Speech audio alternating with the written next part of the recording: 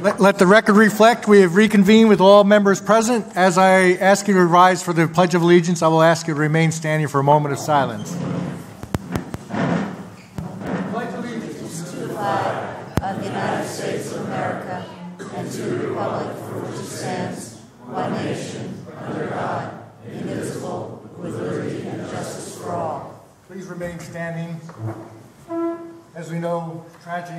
in our country over this weekend. And I want a moment of silence and reflection for those that were senselessly, senselessly killed in Orlando, to their families who lost their loved ones, to a murderer and a terrorist fueled by hate and armed with a weapon that should never been out in the streets. Reflect on their lives and the hope that this will all be past us at some point.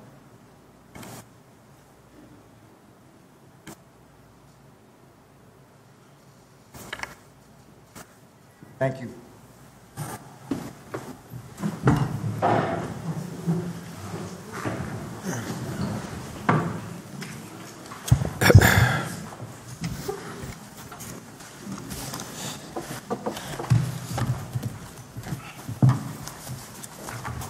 Welcome all. It's nice to have a nice full room for our um, business that will be taking place in about 45 minutes or so. a couple of uh, comments before we do a proclamation and uh, have some special uh, resolutions to pass. One, I want to thank our council president, Ben Wolkowitz, for covering the meeting for me uh, three weeks ago while I was recovering from back surgery. I did catch you on Most TV. You did an excellent job. Thank you. That's subject to debate. And it seems like a long time ago, but uh, in between meetings, Memorial Day, we was we were challenged with forecasts that uh, was pretty dire for the morning, so we did not have the parade, but had a very uh, respectful ceremony in the uh, rotunda downstairs. And uh, as as always, our committee did a tremendous job making sure people knew what Memorial Day is all about. So I want to thank them and thank all the residents that came out for that. This past Saturday, we had the first annual Storytellers Workshop, and it was a tremendous success, showcasing what a great town we have, reminding all, as we ha- have great art in Madison, but it reminded everyone that behind every piece of art, whether it's music, expression, or painting, is a story that needs to be told. And um, I, I got to tell some of my stories of growing up in a big family in Madison. That's part of the day. So it was lots of fun. And the um, festival would not have been possible without the hard work of a dedicated committee. This was conceived in January and happened in June, which is very impressive. Um, Dan Blank of We Grow Media was key, along with um, Barb Short of Short Stories Community Book Hub, putting it all together and getting a host of other volunteers to come up. Uh, Dan Cafaro of Atticus Review and Atticus Books, Deb Starker of the museum, Mel Tomaszewski, Melanie Tomaszewski of the Madison Mud and Tivoli, uh, John Pietrowski, Walter Rodriguez, the Writers Theater of um, New Jersey, both John and Walter their theater, Bonnie Monte, who uh, sat up there on the dais with me to discuss stories from the Shakespeare Theater. And it was a uh, army of volunteers and the DDC that supported it to make, make it all happen, along with the Chamber of Commerce, MACA, uh, and all the residents showed up. It was a great day. Uh, employees for the month of June Jim Trimble of the Utilities Department, along with Magdalena of the Water Electric Department, for their commitment and dedication in keeping the utility department up to date in the absence of their supervisors who were out on medical leave. So they had to step up and keep things running. So I'm going to come down for a proclamation and a couple of resolutions.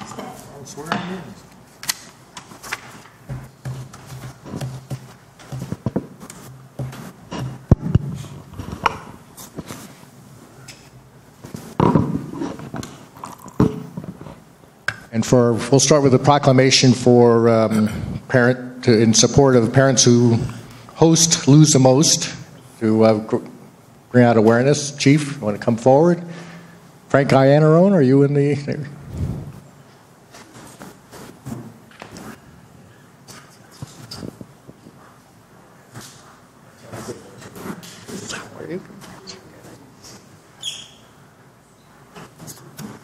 This, this is a special time of year with graduations happening from now until the, almost the end of June.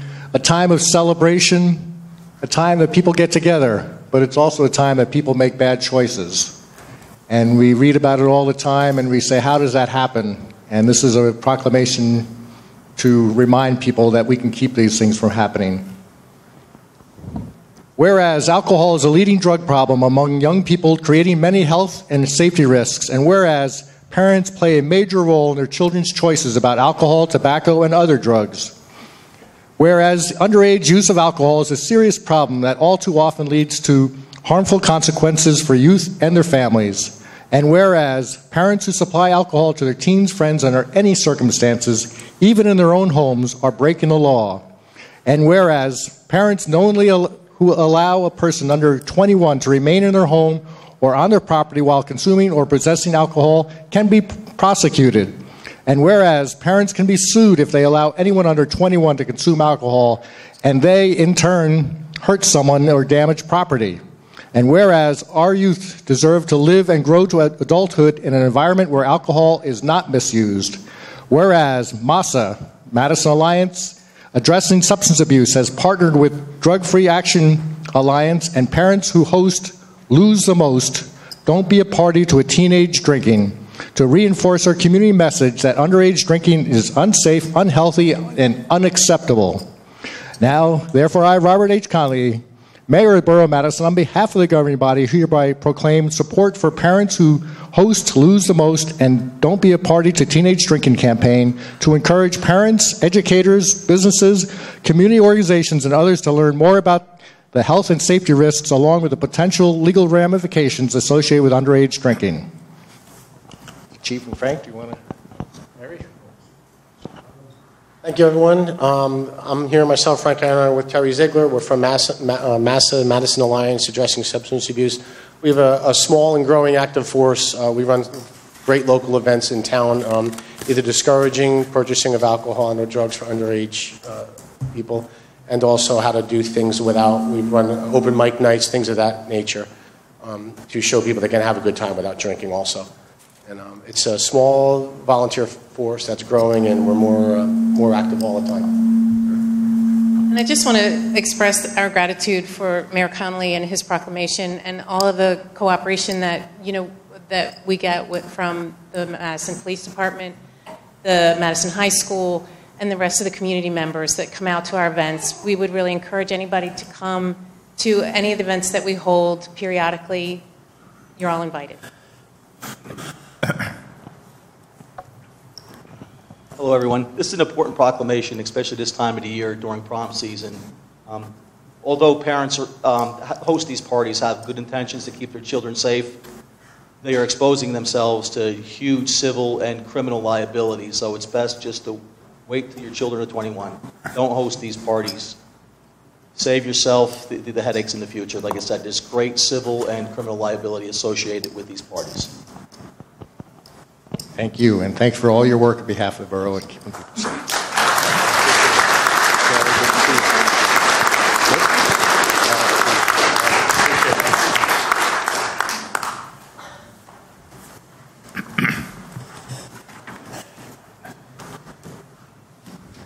I have a motion for the resolution R177, resolution to the Borough of Madison authorizing the appointment of police officer Paul J. Kozakowski as sergeant in the Madison Police Force Police Department effective June 14, 2016. I'll move it. Second. All in favor? Aye. Aye. Carmela Vitale, can you, as Okay. chair to public safety, please come and join me? Chief?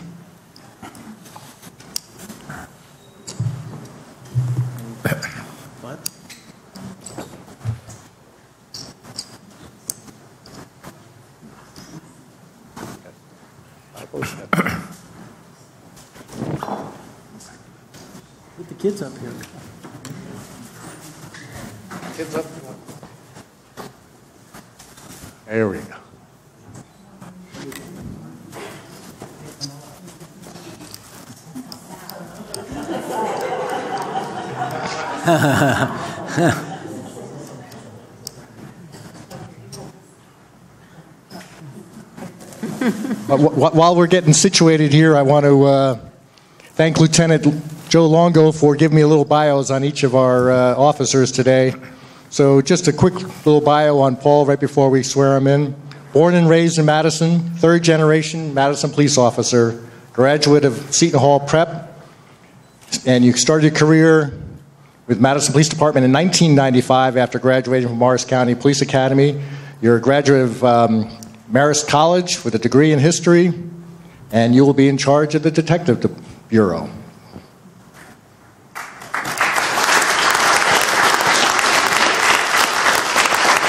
Raise your right hand, left hand of the Bible, and repeat after me. I state your name. I, Paul Kozakowski, do solemnly swear do solemnly swear that I will faithfully, that I will faithfully, impartially, impartially, and justly perform and justly perform all the duties of all the duties of Sergeant in the Madison Police Department Sergeant in the Madison Police Department according to the best of my ability. according to the best of my ability. I further solemnly swear I further solemnly swear I will support the Constitution of the United States I will support the Constitution of the United States, and the Constitution of the State of New Jersey, the Constitution of the State of New Jersey, and I will bear true faith and allegiance to the same. And will bear true faith and allegiance to the same, and to the governments established in the United States. To the governments established in the United States. And in this state. And in this state, and the authority of the people, and the authority of the people, so help me God. so help me God. Congratulations, Sergeant.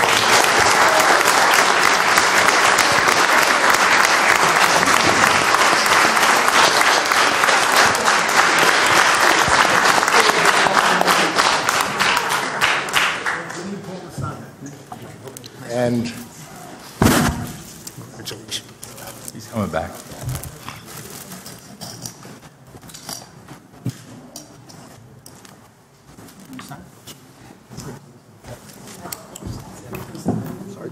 Sign.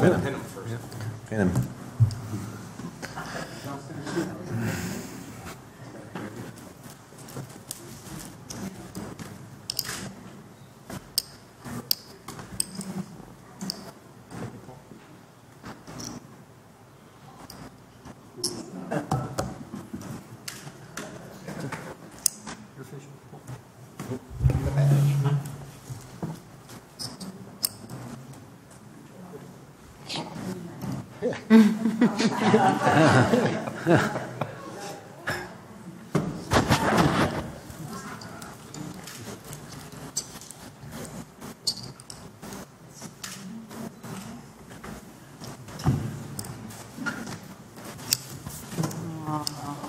Special roses for you for the Rose City. No, no rose for you, sorry.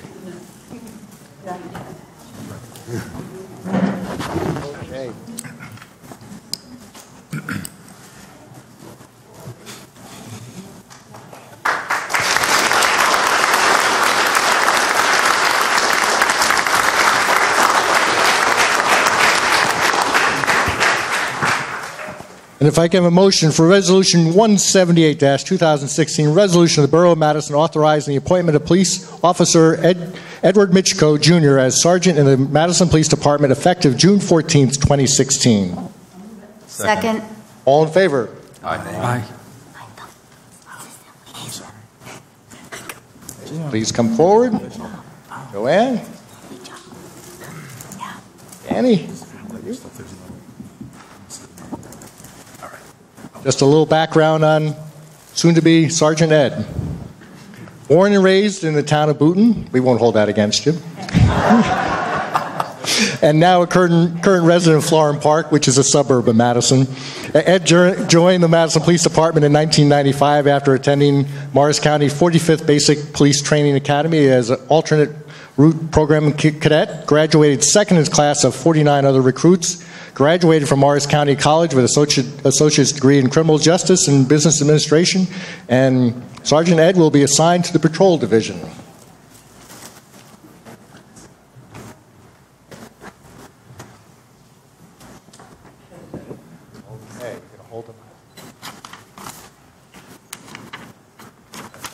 Raise your right hand, and repeat after me. I state your name. I, Edward Misko Jr., Do solemnly swear do solemnly swear that I will faithfully, I will faithfully, impartially, impartially, and justly perform and justly perform all the duties of all the duties of Sergeant in the Madison Police Department Sergeant in Madison Police Department according to the best of my ability. according to the best of my ability. I further solemnly I swear further solemnly swear I will support the Constitution of the United States the Constitution of the United States, and the Constitution of the State of New Jersey, the Constitu- Constitution of the State of New Jersey, and I will bear true faith and allegiance to the same and bear truth, faith, and allegiance to the same, and the governments established in the United States. And the government established in the United States? And in this state. And in this state, under the authority of the people, and the authority of the people, so help me God. so help me God. Congratulations, Sergeant.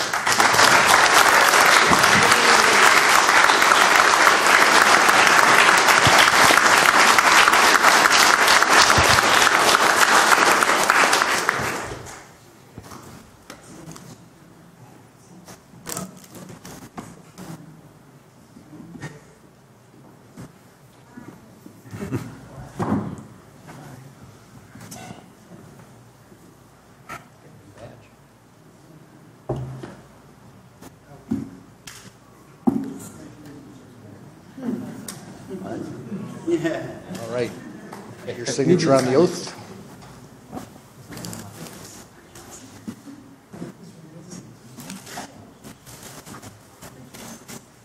You're official.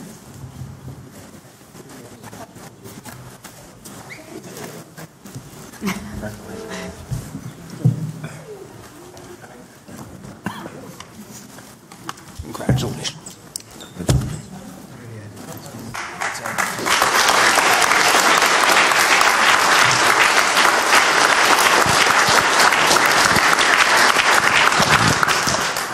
May I have a motion for Resolution 179-2016, resolution of the Borough of Madison authorizing the appointment of Police Officer Lisa Esposito as Sergeant in the Madison Police Department effective June 14, 2016.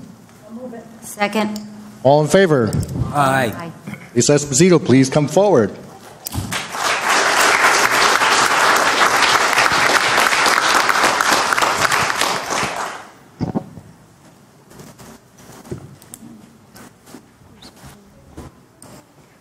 Little bit about Lisa before we start this. Lisa has a significant other, Sean McCarthy, a current officer with the department who is presently deployed in Africa with the United States Navy. So he could not be with us in this big occasion. Lisa has two children, Nicholas, age 14, Peter, age 11, and Peter is playing in the Little League right now. So we're, thankfully, we've got it covered by the camera, so we'll, we'll play it back for him. Lisa comes from a long line of law enforcement officers. Brother Mark, right here, is a lieutenant in Morris County uh, Sheriff's Office. Grandfather Joseph Shalanza was chief of Madison Auxiliary Police, and her father, Peter Shalanza, was a special officer with Madison Police. Lisa began her career with the department in 1995 after graduating from the Morris County uh, Police Academy, a graduate of Parsippany Hills High School. Lisa's bachelor degree is from College of St. Elizabeth and master degree in public administration from Kean University, my alma mater. And Lisa will be assigned to Patrol Division. And especially significant is Lisa is our first woman sergeant in the police department. Historic moment.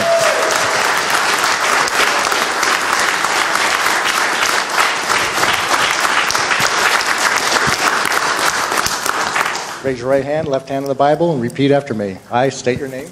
I, Lisa Do Esposito, solemnly swear do solemnly swear that I will faithfully, that I will faithfully, impartially, impartially, and justly perform and justly perform all the duties of all the duties of Sergeant in the Madison Police Department Sergeant in the Madison Police Department according to the best of my ability. according to the best of my ability. I further solemnly swear I further solemnly swear I will support the Constitution of the United States I will support the Constitution of the United States and the Constitution of the State of New Jersey, and the Constitution of the State of New Jersey, and that I will bear true faith and allegiance to the same and I will bear true faith and allegiance to the same and to the governments established in the United States and to the governments established in the United States and in, and in this state and in this state under the authority of the people. under the authority of the people, So help me God. so help me God. Congratulations. Thank you.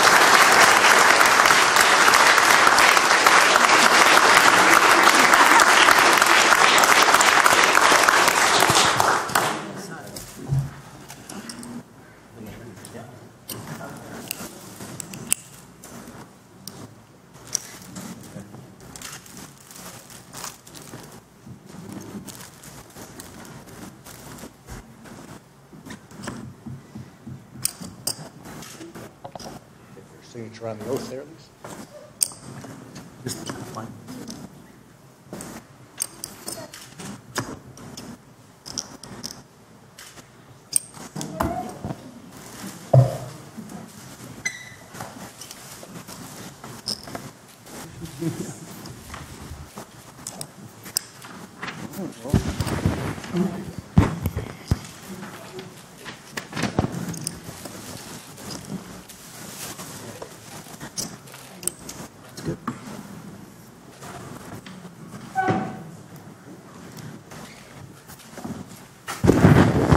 Give everybody time to get out.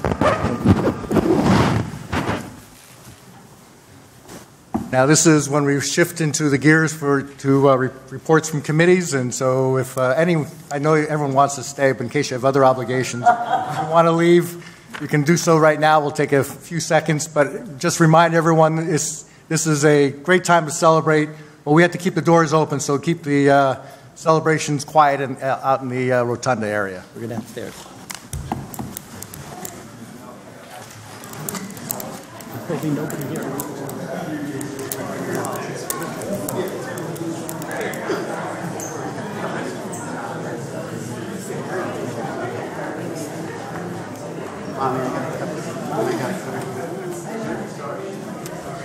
That's all right.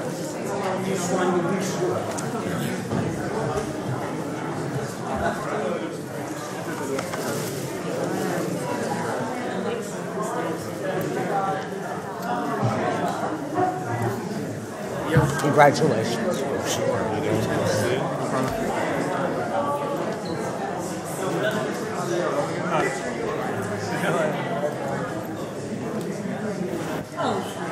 Yes, wife. Congratulations. Congratulations. Oh, Lisa, congratulations. It's quite an honor. First woman. Very exciting.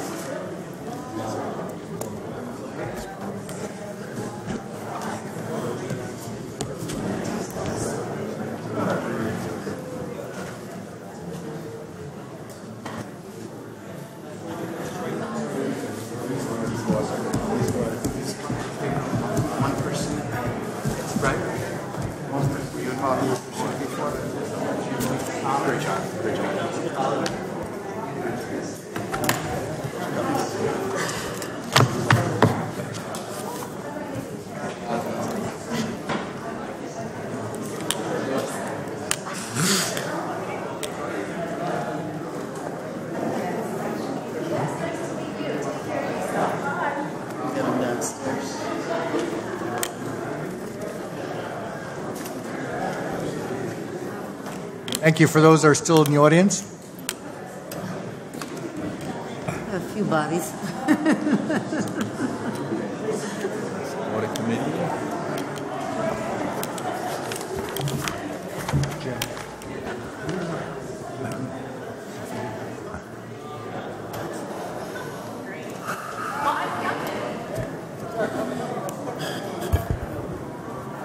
All right, we'll uh, try to do the uh, reports from committees. Speak up, speak loudly.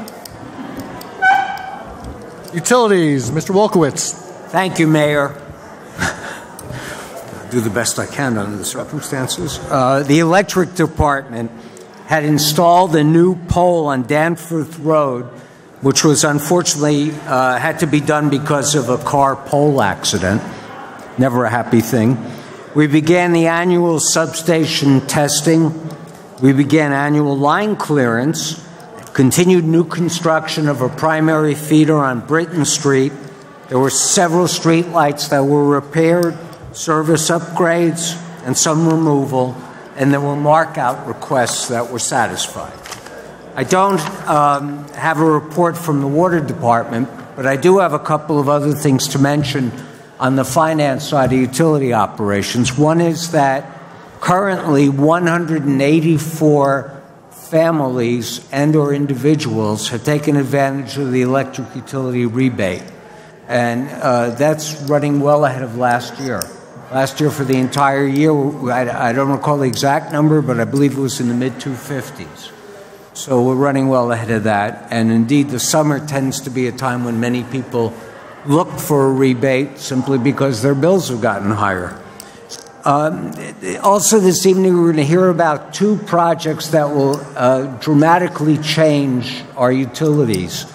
One has to do with billing, automated meters. Uh, basically, now we collect data on usage of our utilities by having people go around uh, literally with pencil and pad and write down the readings. There are much more sophisticated ways to do that that have many benefits, and you'll hear more about that later on in the meeting. And the other one is self generation. We're now in the process of mapping out a way that the borough would be able to actually create its own power and not have to buy all of it as it does now. So I think you'll find both of those quite interesting. Thank you. Thank you. Health, Mr. Catanello. Uh, unfortunately, my iPad has gone the way of the dinosaur, so uh, I don't have a hard copy of uh, of the health report, so I have nothing today. Okay, Apologize. Finance and Borough Clerk, Mr. Landrigan. Thank you, Mayor. Nish Nisivoccia completed their audit. The borough's audit committee reviewed the document with the auditors and supported their recommendations. Administration and the finance team did an excellent job pulling together all the financial reports this year. They are focused on making improvements this year, which include improving utility billing daily closeout process, changing the revenue posting procedures, and refi- refining the tax collector's state tax sale process. The Finance Department has been working with utility billing and meter vendors to make sure the proposed automated meters communicate with the handheld units and billing software. In addition, the Finance Department has several larger long-term projects it is working on, which include the capital and operating budget process. Believe it or not, the department heads will start working on their 2017 budget shortly, and the Finance Department is working on a number of improvements to the process. Software, cross-training the staff, and taking full advantage of all capabilities in the finance software that is used throughout the borough. In regards to generation, which uh, Council President Wolkowitz mentioned, we will hear about the possibility of having generation here in the borough later this evening. This is a very complex project, but one that could yield significant benefits to the borough of Madison. And the CFO is also getting a crash course on the various software packages the finance department uses. Who says you can't teach an old dog new tricks? Now, Jim, are you that old? I figured that. okay. From the payroll department, two employees received step increases this month. 14 summer interns have started working in various departments. Two new police officers and a new court clerk started working in this past pay period as well. And from the tax collectors, letters will be going out soon to anyone with outstanding 2015 tax and utility payments. The tax sale is scheduled for September 14th, and the borough will publish the list of delinquent properties in August. Thank you, Mayor. Thank you. Public Safety, Ms. Vitale. Thank you, Mayor. On May 23, 2016, uh, Acting Lieutenant John Misha was promoted to the rank of lieutenant and will take command of the patrol division. Also promoted to the rank of lieutenant was Sergeant Joseph Longo, who will command the support services division. On May 26th, Patrolman Travis Daniel and Patrolman Ryan Dunn graduated from the Morris County Police Academy. Patrolman Dunn was awarded the Top Gun Award for the highest average in firearms training and a third place award in physical fitness. Patrolman Adam Riley has completed his field training and PDC certifications and has assumed solo patrol within the patrol division. On May 24th, Madison Police Department hosted case law training in their EOC um, department, which afforded a low-cost training for numerous um, Madison officers. Recently hired per diem dispatchers were Joseph Montagna and Edward Gibney started their training in the communications division. Once fully trained, they will be added to the pool of per diem dispatchers who will reduce overtime costs within the division. From the fire department. During the month of May, the fire department responded to 91 calls. There were uh, 12 general alarms, 15 still alarms, 16 investigations, 48 EMS calls. Two, two department drills were conducted. Two firefighters completed a three day incident management class at the Morris County Fire Academy. The Fire Prevention Bureau conducted 74 uh, inspections. 60 of them were primary, nine re inspections, five safe housing and other inspections. 34 smoke detector CO inspections for resale or rentals were conducted. The required annual testing was completed for the following. 2,850 feet of 5-inch large diameter hose was tested and all passed. The department's three 120 1,250 GPM pumpers were tested and all, they, they all passed. 227 feet of ground ladders were tested and all passed. Um, on Wednesday evening, last evening, um, uh, Councilwoman Astri Baillie and myself um, uh, went with um, Chief DeRosa to receive a, a, a plaque from Morris County Historical Historical Society, yeah, Historic Histor- Preservation Preservation Committee, yeah, um, that which gave us seventy-five thousand dollars um, for um, you know towards the the purchase of Geraldine. It, it was a very nice uh, occasion. Uh, Ray Chang gave um, Chief DeRosa a beautiful, huge plaque.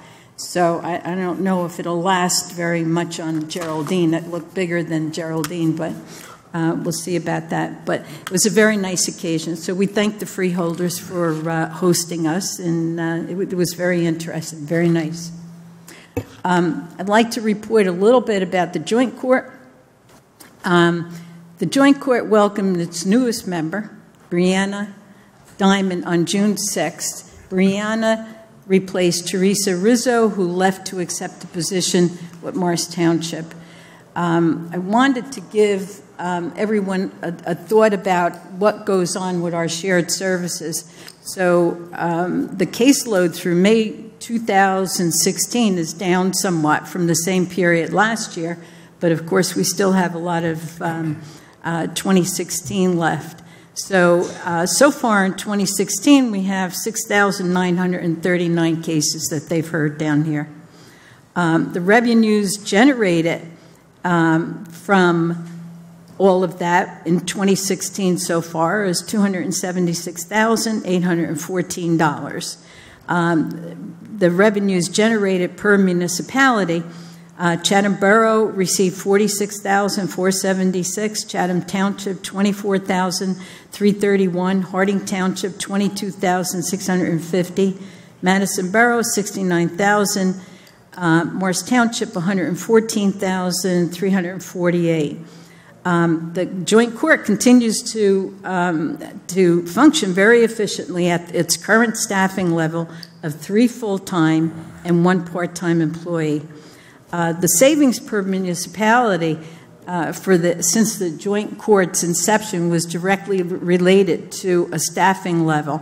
Uh, in Chatham uh, Borough, they had one court administrator and one part-time deputy. In Chatham Township, there was one court administrator and one part-time uh, deputy. In Harding Township, uh, one court administrator and one part-time deputy. In Morris Township, there was one court administrator, two full deputies, three personnel.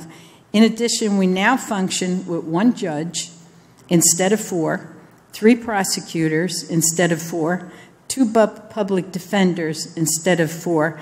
So they're doing um, a, a really uh, wonderful job, and it's, uh, it's, it's a great way uh, for the people of Madison to know uh, about our shared services with other communities. That's all, Mayor. Thank you. Community Affairs, Ms. Baillie.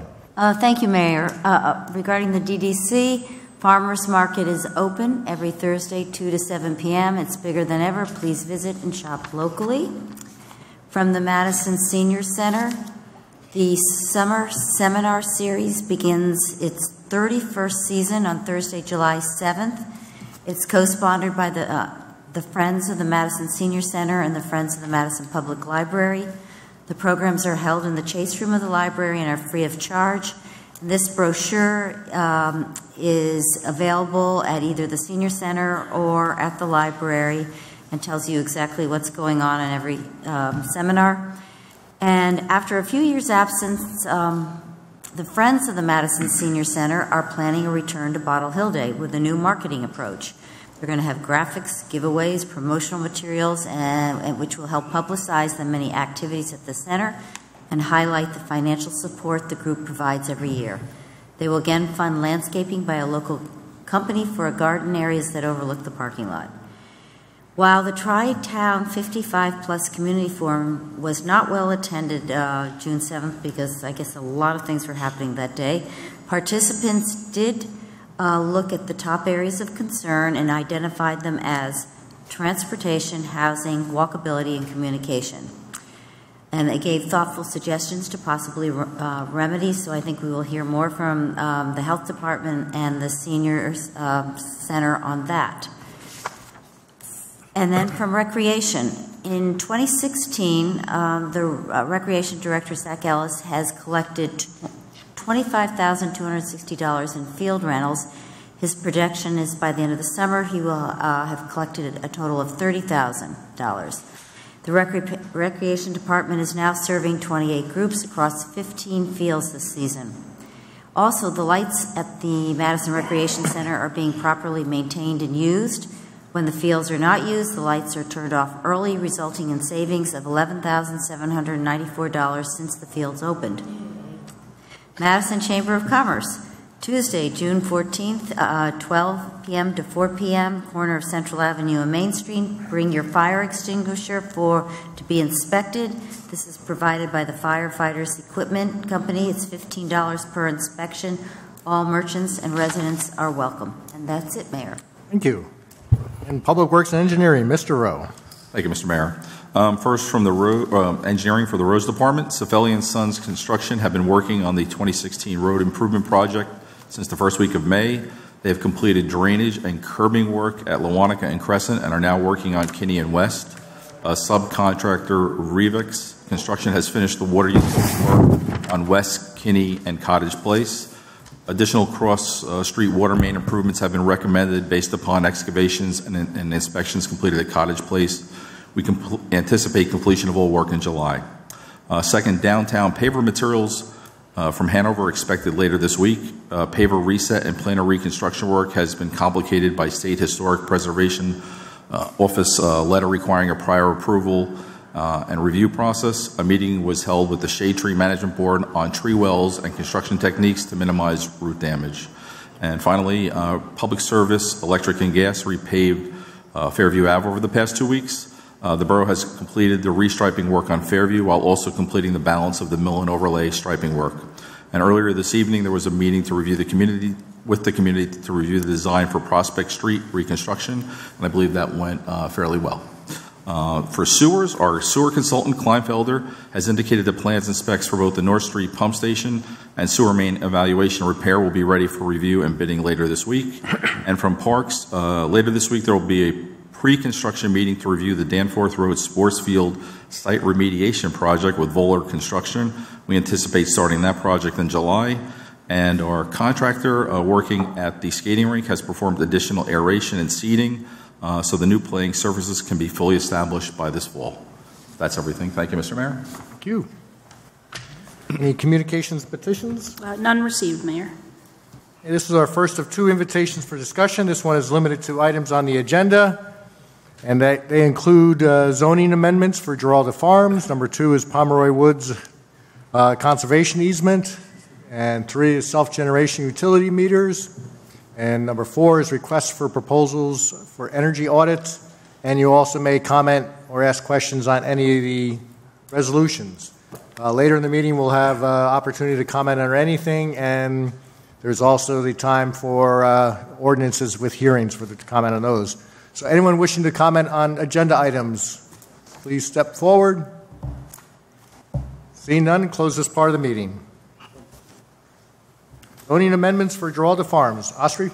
Thank you, Mayor. Um, so the Planning Board in 2014 adopted a land use element amendment to the master plan that refines the land use policies guiding future development and reuse of sites at Giralda Farms. It's really just kind of tweaking what was put in place many years ago.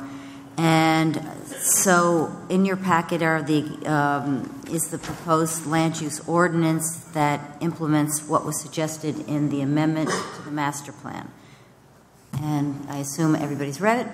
Any questions? Any questions on this? is uh, ordinance 49 that is listed for introduction. This will be uh, introduced, it'll go back to the um, planning board, and then we'll be back for final hearing. All right, well done. Oh, thank you. Pomeroy Woods, Library Conservation Easement, and you're up again. Okay, um, so uh, behind the library is some woods, and there's a stream, and the Open Space Committee looks at the map periodically to see uh, what is on the ROSI, which is the Recreation Open Space Inventory. Um, Is there any place that we need to preserve? And this piece of property came up. It's directly behind the library. It provides uh, protection for the neighborhood and um, creates open space buffers, uh, buffers as well as water stabilization. So we think that that piece of property should be preserved with a conservation easement uh, by the borough and um, for the town of Madison. Um, It's just a positive thing. Yes? I, I realize it's referred to as Pomeroy Woods, but does it go all the way up to Pomeroy? Yes. It, it, it's, it- it's just the woods directly behind the library. We're not talking about Yes. the Grasston areas, parking lot, every, all of that is, will be government, so. Thank you. Bob? Yeah, I'm very familiar with it, and it's a beautiful piece of property. There is a stream that does run through it, and I remember during, I think it was Hurricane Irene, that f- overflowed and flooded the library. Is there any thought to maybe working with that to prevent that from happening again? They, they have been working on it periodically through the years. Um, Also, the uh, Parks Committee uh, would be interested in starting to place more trees in there, which would even create better stabilization. Because there are a lot of down trees from the last hurricane, they weren't removed. I'm not sure what we do about that. That's good. Thank you, that's good. Pat, did you have your? No. In, in a way, it's kind of like two areas. You've got the, the stream area, which in events like Irene and others becomes a very wide thing because it's carrying quite a bit of the water off the hill.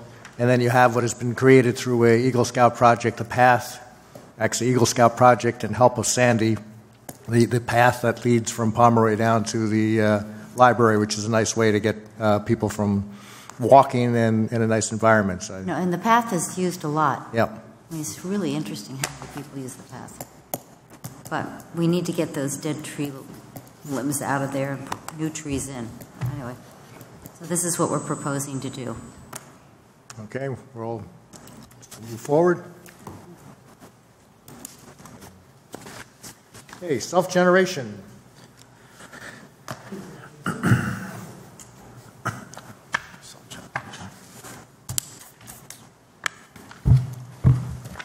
Thank you, Mayor. While I get the technology going. Talk briefly about uh, two important projects, um, one that we are ready to implement. Um, First is, uh, bear with me here a second. I got back. There we go. First is the uh, automated meter uh, project. We talked a little bit about this. I'm going to sum it up real quickly. We're looking to replace the paper and pencil with electric handheld devices. Had multiple meetings with um, particular vendors, had a consultant come in and give us guidance on which were the best. Um, Michael Piano, myself, Tom uh, DiBiase, and uh, meter readers, and Donna, and others from utility building all got together. We wanted to make sure that we had a system that we bought now that would be scalable when we went to full uh, automated meter reading. Um, we're looking to start to replace both water and electric meters and test this system, make sure we're comfortable with it, that it works right. Um, one of the other goals is to collect 15 minute interval data on our 50 to 100 largest customers. That interval consumption data is uh, going to be very valuable to us down the road if we were to ever do uh, time of use um, consumption for our largest customers. Um, we wanted to identify, as I said before, a system that was easily to convert over and uh, we reviewed a number of providers and deter- determined Elster to be the best system for our needs. So the purchase would um, involve actually two different companies that we're buying from because this is the way we have to do it. We cannot buy Elster meters directly from Elster; they have a distribution um, relationship, and we'd be buying approximately 180 electric meters These are regular electric meters that you can use, but they also happen to be integrate with a handheld device, and they also happen to be meters that can ultimately become uh, meters that can use a different communication platform that would make the system fully automated and no longer have to have a handheld device. Get 50 water modules, um, which are placed on our existing network meters, which are the ones that Tom likes. We wanted to make sure that these modules worked. Um, it's a module wall mounting kit and wire cable. Um, basically means that you would not have to go inside the house anymore. There are other technologies that allow that, but this is um, this is one that would ultimately also be able to merge into the fully automated system. Um, in addition, we would be purchasing fr- directly from the company three handheld units. You've probably seen them before. Um, collection units that have GPS capability, two optical cables. Those optical cables will allow us to take a laptop out to our 50 top customers and download that interval data. Once we went fully automated, that would all come back to us automatically, but for the moment with the handheld, we would go and download that information about once every four or five months. So it's not that, not that terrible. The meters hold a lot of data. Um, there's a manager software called Route Manager software, which integrates and connects our billing software to the handheld devices and allows the information to flow back and forth. Training, support, and integration. Each purchase would be a little under um, $40,000, so it's under the bid threshold.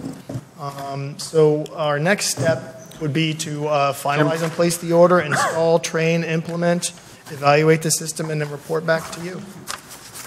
One quick question. You said you were buying, think, 180 meters, but you said we're only putting them on the 50 to 100 largest customers? No, we're actually going to, like, say the three houses that are being built on Green, Green Village Okay. Road. Michael needs meters. We might as well buy these meters. So they'll Okay. be starting to be installed through other parts of town on regular residential. Are we installing these on ourselves? Because we're one of the 50 or 100 largest customers.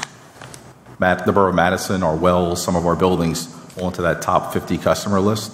Yes. Are we just doing these on commercial establishments? No, we would do it on commercial establishments and on our own meters. We Okay. want to see our own consumption on a 15-minute increment basis. Thank you. So it's taken a long time, but I think we're there. So, yeah. This is a long time coming.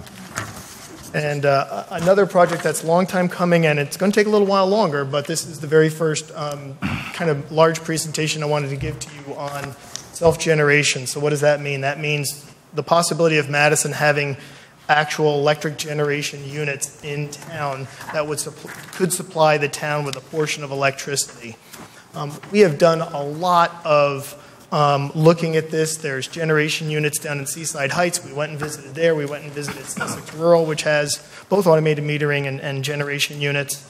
Um, we've uh, consulted with um, another consultant, Paul Williams. I've looked at this for a couple of years. What uh, was a concern was how do we justify buying a $10 million piece of equipment when we've never really run anything like this before?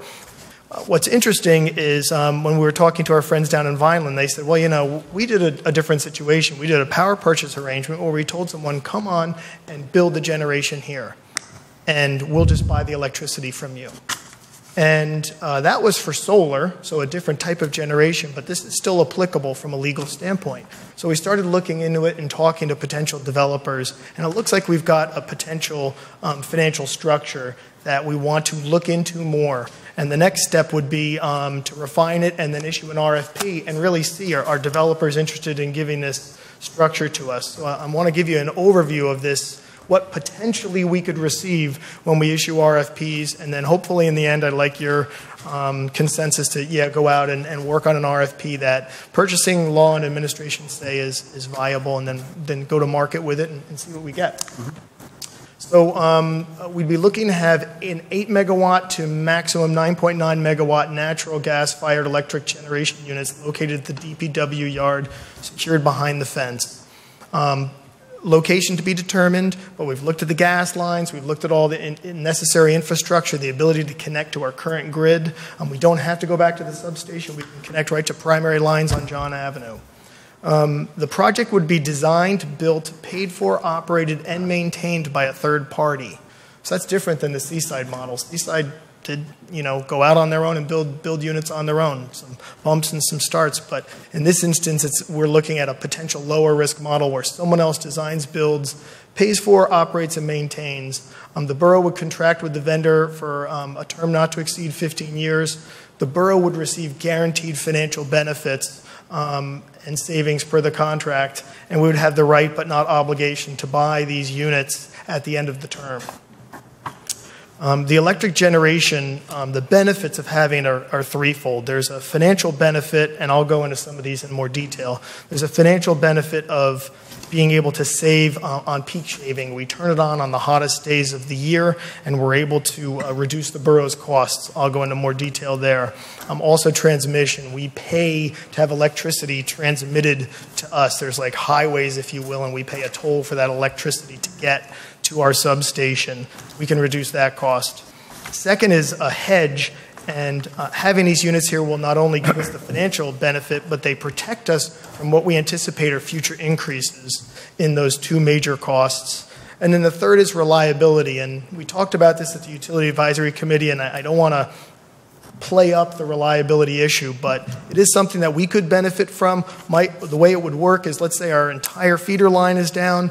Michael's crew would come out, create what we'll call an island where there's only certain circuits that would be fed by this unit, and then all the other units they could continue to work on, they would not be energized. Michael would turn on the generation, and we could power up the entire downtown um, and certain other parts of town with these units. So if we had a long-term outage, I'm not talking a two-hour outage, we're not talking a four-hour outage, um, this could happen. We're also not talking about that traditional switching gear that you think of when you have a generator or a house where it just kind of automatically goes on. This would be a manual process, and talking to Michael, he wants to keep it manual and be able to fully control it um, on his own. So there is a benefit to that. These happen to be, oh, I should have, to the next slide, I apologize.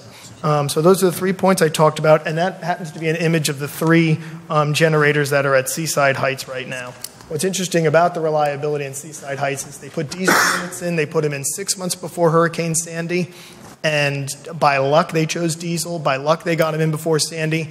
They lost their power line, they lost their natural gas line, and um, they got approval from the state police to have diesel trucks go over the causeway, turn these units on, and they did exactly what I talked about. They created an island. They were able to power up their municipal building, a hotel where first responders stayed at, and their um, municipal offices and, and fire and other, other facilities. I think uh, there's an image on the internet that shows the entire Jersey Shore completely dark the night after Hurricane Sandy or Superstorm Sandy, except some lights at Seaside Heights because they had the ability to do their own generation. So um, the project process, we'll go through that and then I'll go into the economic drivers. The borough would issue an RFP to solicit proposals. Um, uh, we won't specify the exact size or contract structure, and we would evaluate it based on the life cycle savings. Um, we would then review and present the findings of this RFP to council. Um, if approved, um, that yes, this looks like a, a viable deal, we would move uh, forward in a process of negotiation. We'd notify the neighbors and talk to them and say, hey, we're looking to do this. Um, the units at Seaside Heights and the units we would bid would be um, have sound attenuation, so they'd be very quiet.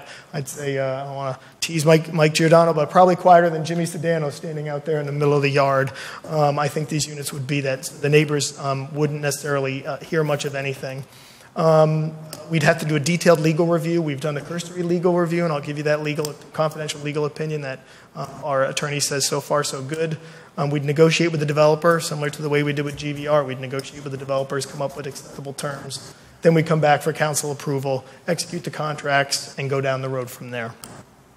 So I want to touch more on the economic drivers because this is really the main reason for doing this um, is the economics. Um, the borough is connected to the grid. People know it as PJM. They operate the largest uh, electric control area uh, in the world. Um, there are various savings and revenues that this unit will generate, and we will share in those. Um, uh, there's transmission capacity, spot market prices, and, and others that make up the total cost of electricity. There's revenues that we actually could be earning from the grid. They would pay us to have a unit like this that could be dispatched. And the contract would um, guarantee, we believe we can get a contract that would guarantee savings to the borough. We anticipate through financial modeling that the units could generate up to 1.4 million a year. So just in short summary, 10 plus million to install these units, 1.4 million in um, annual benefits. We think we can get up to $400,000 a year in benefits um, annually out of it. The developer would receive the other funds. So um, if there was a polar vortex, though, like we had in the past, those savings that we could get would be could be significantly more. Um, at absolutely no cost, we would get the benefit of that: 200, 300, 400 thousand dollars a year. This is just a chart on what we think the uh, what was the current capacity costs, um, and I'll just leave it that if you go online, Postnet, and just type in um, capacity costs, you'll come up to a web page that explains how we get charged on that. I'll show it to you in a bill in a minute, but I don't want to go through the mathematics of it. But it is a significant charge that we receive, and it's driven by this number, which is created through um, an auction process through PJM. So to go into more detail on the savings, um, I just mentioned the capacity costs. Um, if you run the generator on the five, six, seven, eight, nine hottest days of the year, we're going to hit the five peak non coincident days that determine our capacity cost. We pay over $2 million, um, and in years have paid over $3 million in the capacity cost to the grid. Um, and we think we can save 20%. So that would generate, of that 1.4 million I mentioned, that generates about 400,000 a year. So what does that mean, that $2 million? Why is Madison paying so much money for this? You've heard it in the past, I'll just reiterate it again. We're paying for people to have generation, generating units that are there that only get turned on the 5, 6, 10, 20 hottest days of the year. You can't store electricity. You can store natural gas, you can store water, you can store other things. You can't store electricity. When the grid needs more energy, they're actually not necessarily picking up the phone, but they're contacting people and saying, turn on the generation, we need more capacity. So we pay for people to sit there and have these units available. Transmission payments, that's also priced and our cost of about 680,000 a year is driven by the four or five hot, the hottest days of the year. So we could save 20% of 680,000 or $130,000. And when I say we, that's the generator would, would generate those savings. Um, there's also reduced cost by what we would purchase on the spot market. There are times when this unit could generate electricity and we would be able to buy it and, and, um, and use it at $80 a megawatt. And there's times when the spot market goes up to 100, 200, 300 during the polar vortex, $1,000. So there's savings there for that. Um, this just happens to show a chart um, of what we use for our daily service to help us track peak days, just so you know that we're always looking at it. Um, and there's companies out there that will help us determine um, when those peak days are. This is very small print. I'll give anybody a copy if you want to. Our four page PJM invoice, which is $306,000, of which this is uh, about $75,000 in transmission costs, these first two lines. Network integration, transmission service, and transmission enhancement. That's what we pay for JCP&L to let their, our electricity travel through their on their highway to get to our substations. And then this big number here, $223,000 capacity charge. Every month, 200, 200 to $300,000 in a capacity charge on that invoice. So you can see of a $306,000 bill for PJM, this isn't our block energy, this is the PJM services.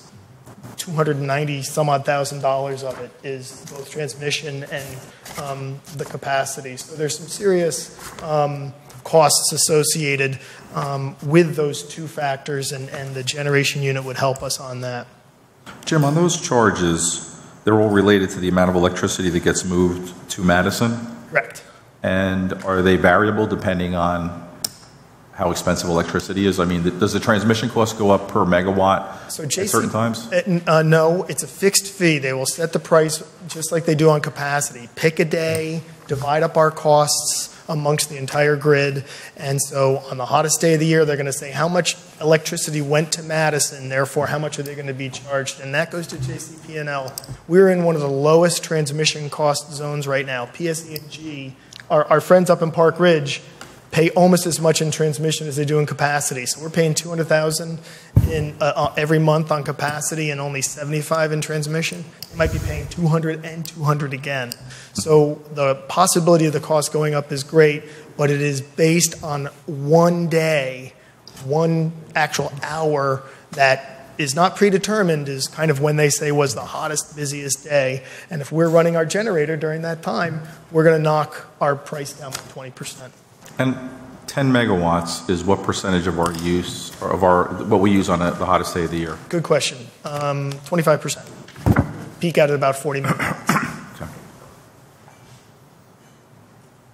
So we talked a little bit about the hedge. I don't want to get into it too much, except that these charges are not going away, capacity and transmission, and having this generation unit in here kind of protects us from any upward movement in these prices um, and protects us from an exposure. So I, I kind of use that as a secondary financial benefit.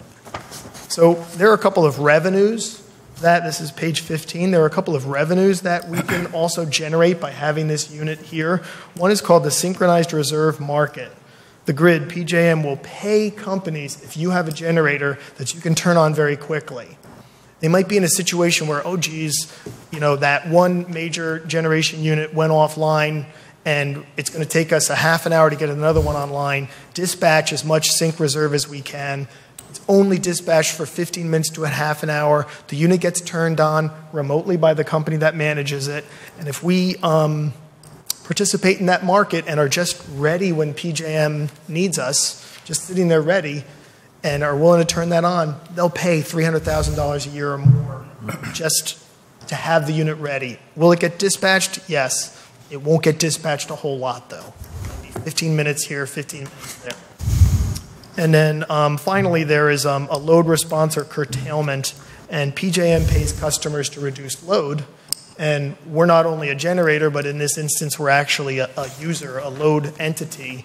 And we could, we believe legally, we could collect by saying we're turning the generation unit on and reducing our load. They'll pay us for sync reserve when they need a quick hit. They'll pay us for um, load response when the capacity, um, when the system is stressed. And um, you'll, you'll hear, I think, um, actually, uh, in the past, Chris Manick over at the joint meeting has been involved in, in being able to dispatch, and he'll say, I can turn off my electricity and turn on my generators here that run on the methane. We get um, demand, resp- uh, we get a load response or curtailment payment from PJM for doing that, and that can be $250,000 a year. So you add all those financial benefits up, that comes to about 1.4 million. We divide that up between ourselves and the developer in, in a contractual agreement. So um, there are certain market risks um, with this. Um, there's the risk that um, maybe the rates of PJM decrease, maybe the capacity and transmission costs decrease. That gets mitigated because we didn't pay all this money for the generation unit. We have a contract, we're sharing and splitting that risk. Natural gas prices increase. Again, we're sharing that risk, so um, we're able to mitigate that. Um, performance risk, I think this is probably one of the most important ones. If we ran the units on our own, we would be liable to have to make sure that we turned them on at the right time. In this instance, we'd have a contractual relationship with someone, and if they didn't turn them on on the on the hottest day of the year, or they goofed up and didn't um, uh, didn't uh, get the sync reserve revenues, they would be on the hook for that penalty. And there's always regulatory risk, whether we own this or have a third party arrangement between the federal regulations, FERC, New Jersey, PJM, and alike. Um, other short concerns, which I've already mentioned, the neighbors. Um, these are going to be sound attenuated units. We would want to talk to them beforehand, make sure they fully understand what it is, and, and the fact that, it, in my opinion, it's possible and maybe as a benefit to the neighborhood that lives in the area, you say your area will be energized if there's a long term outage. So we understand you might not be thrilled having this generation unit there. Really, it's going to be no noise compared to backing up a, a truck and the, the, the, noise of that backup alarm. But um, that's something the council could offer. And then the legal issues, um, once we issue an RFP, um, we'll do a more detailed contractual scrub with our, with our um, legal staff. I know I'm talking fast. Jim, can I talk for one second? Quick, quick thing on the noise. I assume Seaside Heights, which with its development, those generators need to be close to residents or and or businesses that they're not off on their own anywhere. So, yeah, the, I mean the other thing about them is they're diesel, and and they're noisier than gas ones. And I believe I'm trying to remember. I think nearest residents were maybe a quarter of a block away. I would say from the finance department to the construction department. Yeah, I think that's about right. and they didn't complain. And then when they ran them, when you know, and caught the town up and running faster, they all applauded. Mm -hmm. Jim Bobbin and Pat? Yeah. Jim, you mentioned that some other municipalities do this already, and these numbers look very promising, but I'm not even going to comment on them yet because I know we need more information. Would it be possible to get some of the financial performance numbers from these other municipalities? Let's say like a Seaside Heights, if, or what was the other one that you mentioned? So um, Sussex Rural does it a little bit different. They actually have a they actually have a division that builds generation, and will go on. So, for example, they partnered with uh, Mountain Creek to build a generation unit that generates electricity for Mountain Creek and Yeah. reduces their electric costs. But then also they can dispatch and reduce the entire Sussex Rural's capacity costs. So a little bit different model there. I think this we would be one of the first that did this type of structure, like the Vineland contractual structure with a generation unit. But I can get from Seaside, hey, you, you, even better, you guys had the risk of owning these things. How much did you make in the sync Right. reserve market? How much did you save in capacity? Uh, What are your general overall thoughts? And Yeah, I'd like to see that. do you do that. Okay. That's a good point.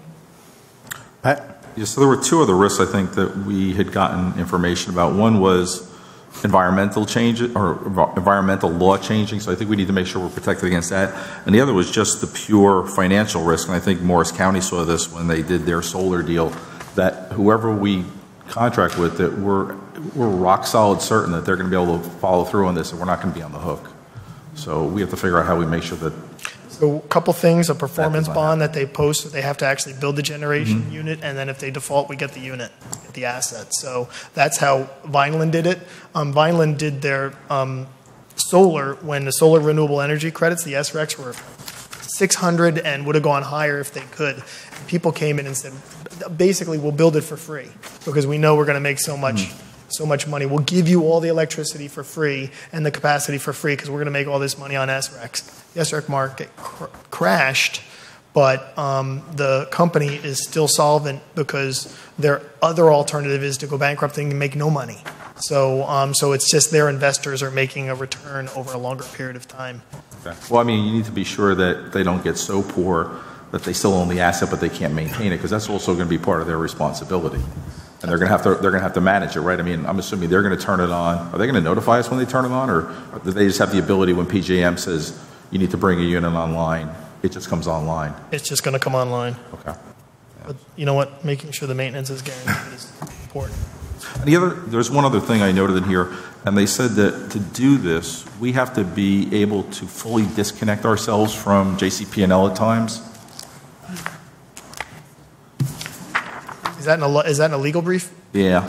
Okay, that's, that's, um, It says switches to be installed to ensure that in times when JCP&L system is down, such as during Sandy, no power or energy may be, uh, may inadvertently flow onto their system. correct. So we just need to make sure- the islanding that Michael would Yeah. create, because the last thing you'd want, to Rob will tell you, he's an electrical engineer, The last thing you want to do is have electricity backfeed into an area you don't know, and a lineman get hurt, or it end up going upstream to the substation. Um, You know, real important to know, but a little tidbit, all the solar that we have installed in town has to have that as well, your individual solar house, because if, if the power goes down on your block, and you have, uh, and you're on um, Hunter, and, and Andy Bennett's got his house there, and he's on solar, and the power goes down. Michael's got to go and make sure, hey, disconnect that solar before you start working on it. Just because you think the power shut off the bottom of the street, solar can be backfed from Andy's right into the, right back onto the wires. So that's pretty much it. This is just a, a kind of a project summary. I think that this um, deal structure offers much less risk for the borough. And um, uh, I, I think it's worth taking the next step. So we're just asking for a consensus to say, you know what, this makes sense to go to RFP, see what we get. Maybe we don't get nearly what we think we're going to get and it's not worth it. Um, or maybe we get deals that are even better than we think. Bob? Yeah, there's just one other piece that I want to mention there. We talk about um, the benefits to the borough financially. You know, we're trying to attract businesses downtown. We want corporate parks in here. We want our businesses. What a wonderful way to advertise one of the benefits of moving to this town that we have self-generation. That in a storm, that we could actually power up Main Street and possibly the corporate parks. I think that is a huge benefit Because I can remember during Sandy seeing the power lines down along the train tracks, knowing that we were sunk until JCP&L got, got them back hooked up again. I think that's something which has to be factored in here the economic benefits to the merchants and to the corporations in town. Comments or? Carmel? You, you know, I want, I, I'm going to pontificate, I'm sorry. But I, you know, I was thinking about this when I, I read all of this. And of course, you know, um, being on Utility Advisory Committee and talking with Mike, um, I, I saw a great deal of hope for self generation. And it kind of got me to thinking about, um, you know, the people who sat here before us, you know, the mayor and the councils who sat before us, you know, and you think about, like in 1891, we had electric lights in the commercial district, you know, and we had a water and a light department. And th- those people had great foresight. And, you know, I mean, uh, listen, there were tracks on the ground, and now we have this beautiful train station. So the people that came before us actually um, had great foresight in seeing what needed to be done for the future. Um, I'm thrilled just with handhelds at this point. I'll, I'll tell you that that's a remarkable step. So uh, we need to move into the 21st century, and I think that we as council, mayor and council, have to make a commitment to what's going to come after us, and and take that same strength that all of these people had before us to develop all of these great things in town. So when you think about it, I mean, it's like absolutely amazing. Way, way back in 1800s, they had enough sense to build a water and a light uh, department, and you know, and now we have you know something that gives us great income and whatever. So um, I'm in absolute favor of this absolute favor. So, but I, I, wanted to bring up that point because I think it's important that we have to continually move forward and, and take these little bit of chances and find out what it's going to cost us. That's it.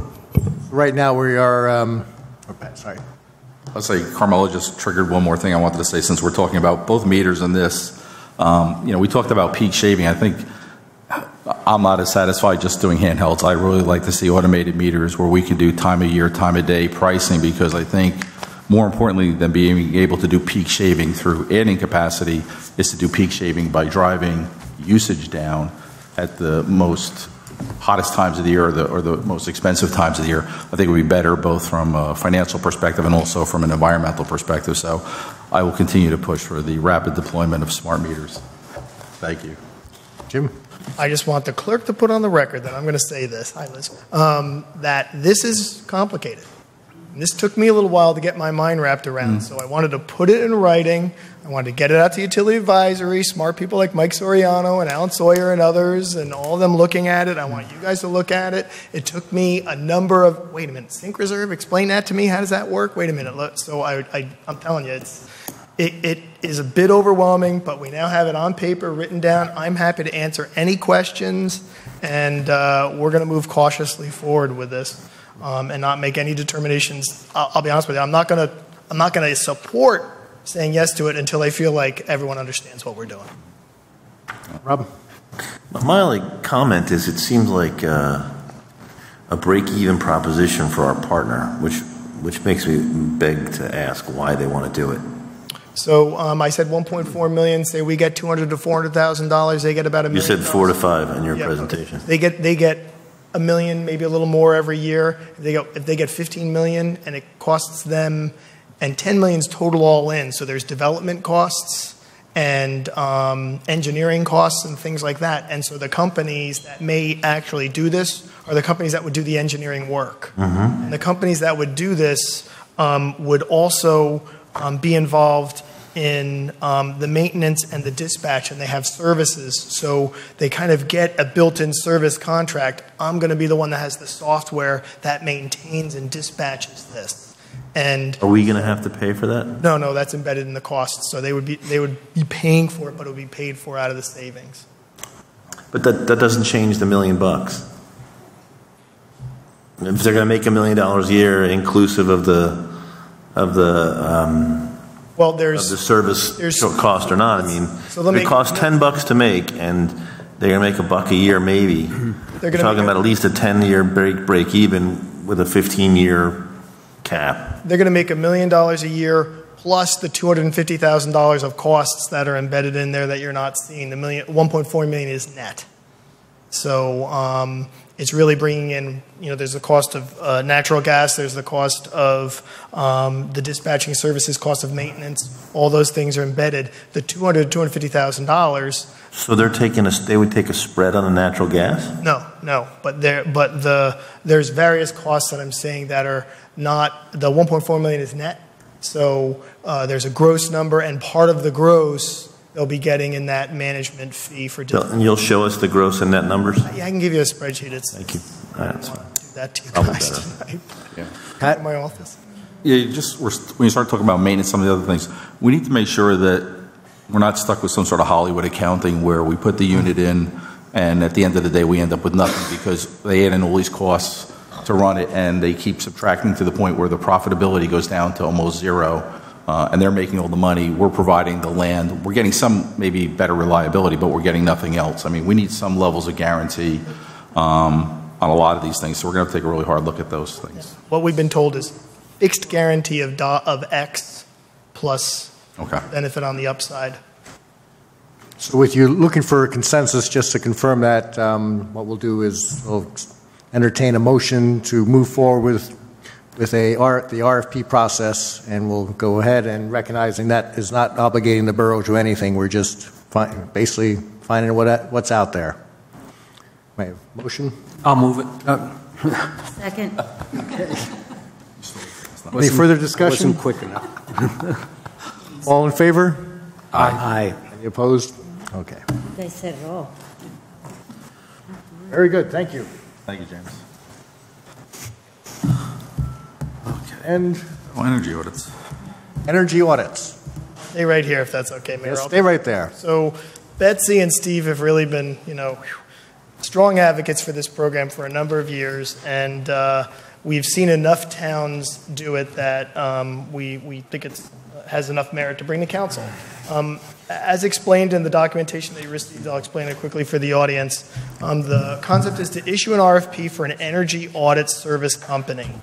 And the borough would identify, through this RFP process, the borough would identify a single approved contractor to perform energy audits in the borough. There's no cost to the borough for this program.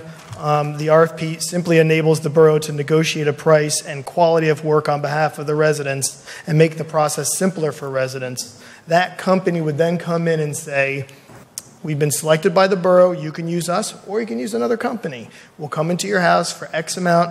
We'll do an energy audit and um, and give you suggestions on how to improve the efficiencies. Um, in talking to the company, they hope they can get energy audits from 100 residential units. We're not talking a huge market penetration, but but fairly significant.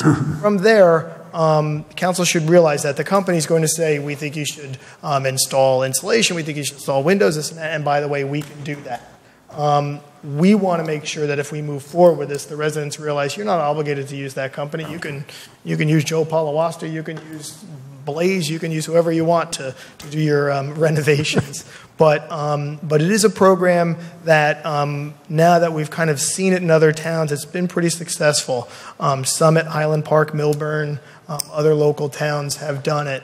So um, we'd pick the company, the company would put out marketing material, no obligation for anyone to do anything, but it, it, it's good for the environment. This is, this is really being driven through the Sustainable Jersey program. Um, and, uh, and so um, we'd get points for it. Um, some of the issues um, I've talked about um, in terms of the, letting the residents know that we're not endorsing this company, that um, we're just saying, here's a company that can do energy services for you. And then secondly, um, some of the residents uh, or the residents in town may not be able to get all of the benefits that you could in Millburn or Summit because of the societal benefits charge that the BPU charges, us not paying into it. So you might not be able to replace your dryer through the Energy Star program or something like that. But as long as um, you know, all the natural gas savings, all the insulation savings, all the HVAC savings can all, can all be, um, uh, can all be gleaned, and um, this company will help the residents find the rebates, and find the, the available grant funds and um, subsidies. Ben? Yeah, ju- uh, just a note of caution on a personal experience. Uh, uh, During one of our uh, fairs, we had the environmental fairs, I had a long discussion with a fellow who represented a company that does this sort of thing, and I invited him to my home, and uh, it never materialized. And I, I don't know what happened, but I never heard back. And, and I, I understand my experience was not unusual. A lot, the barriers to entry in this business aren't much, so you get a lot of fly-by-night operations, as it were. And um, all I'm saying, by note of caution, is that we need to carefully vet a company before we say it's okay for our citizens to have them do audits. The RFP actually talks about that they can only be companies that are approved by the BPU through their, on, and on their website already, on their, on their um, New Jersey Okay. Energy website. So there is some of that, but you're right, you need to be careful. And that's the downside. You know, I'd asked Jim and Ray to take a look at this, sitting on the Environmental Commission. Um, It was something they had brought up last year. I think they've been trying to do it for a while.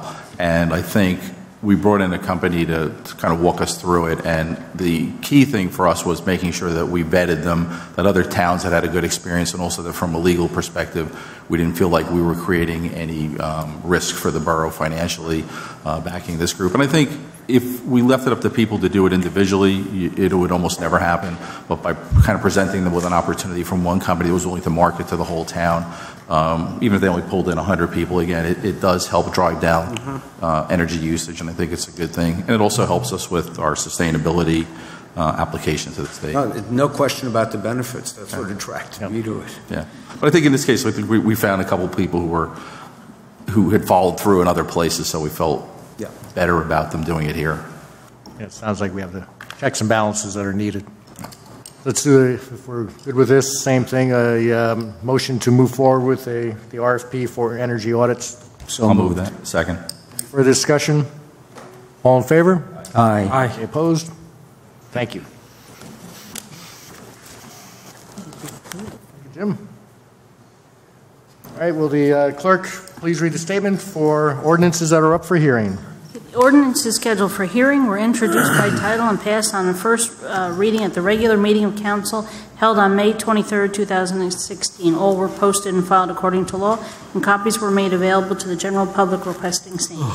I call up ordinances for second reading. Ask the clerk to read said ordinances by title. Ordinance 45, 2016, ordinance of the Borough of Madison amending Chapter 195 of the Borough Code Land Development Ordinance regarding changes in building occupancy and use. I open the hearing. Anyone wishing to comment, please step forward. Seeing none, I close the hearing. Mayor, I move ordinance 45-2016. Second. Any council discussion? Roll call vote? Mr. Catalinello? Yes. Mr. Landrigan? Yes. Mrs. Vitale? Yes. Ms. Baillie? Yes. Mr. Wolkowitz? Yes. Mr. Rowe? Yes. I declare ordinance 45-2016 adopted and finally passed, and ask the clerk to publish notice thereof in the newspaper and file the ordinance in accordance with the law. Ordinance 46, 2016, ordinance of the Borough of Madison authorizing capital reserve of $300,000 for the Madison Electric Utility Substation. I open the hearing for ordinance 46. Mike, please step forward. As you come up, please state your name, your address, write the same on the paper, and uh, please try to keep your comments to three minutes or less. Uh, Mike Soriano, 230 Woodland Road.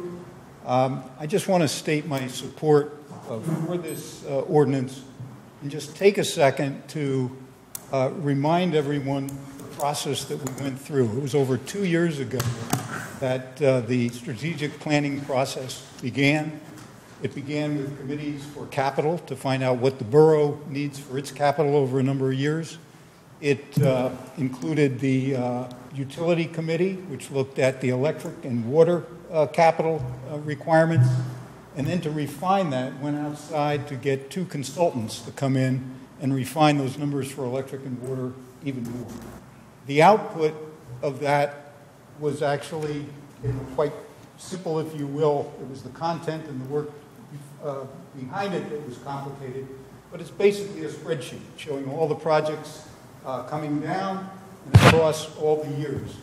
And then what happened is at the end of the time for the borough, the electric, and the water, you added up all of the uh, annual uh, capital costs that were projected, divided by the number of years, and you came up with a average annual capital cost for the borough, for the electric, and for the water. For the borough, uh, that was mainly wars, uh, roads, storm sewers, sanitary sewers, and that averaged out to about $4 million a year.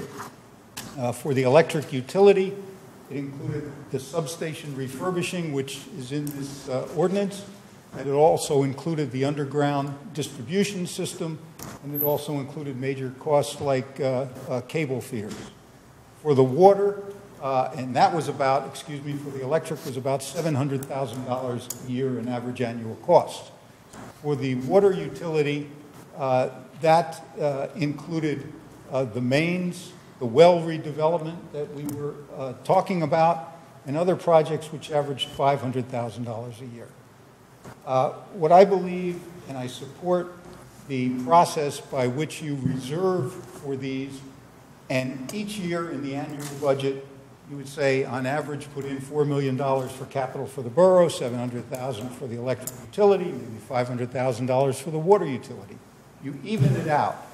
In the past, uh, you had peaks and valleys in what you were spending on capital. And I think by even, evening it out, uh, the residents of the town, the council, sees what it really costs to run this borough on a continuous basis, on an ongoing basis, to maintain the infrastructure.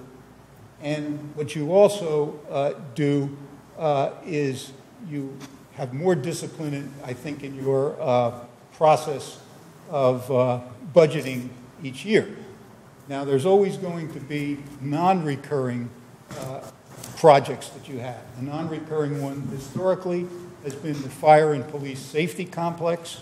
Uh, the new recreation fields. Maybe in the future, let's say you decide to put in in a new water tank. Those are non-recurring, and I think those should be bonded for, uh, borrowed, and spread out uh, over a number of years. At the May 23rd uh, council meeting, I was surprised to see as much discussion as there was on uh, whether you reserve or whether you borrow. I think this is one of the recurring costs that the borough has, refurbishing electric station, uh, the substations. It happens over a number of years. You don't know exactly what year it's going to happen, but it should be included in the annual capital budget, and, but you don't know the year you're going to spend it in. So my overly simplified way of looking at capital budgeting is recurring items to be budgeted for each year and reserved for if you don't actually spend that. Non-recurring items should be uh, bonded. And uh, so again, I just come back and want to support the, uh, the ordinance that's up right now. Thank you, Michael. Jerry, welcome back. We haven't seen you in a while.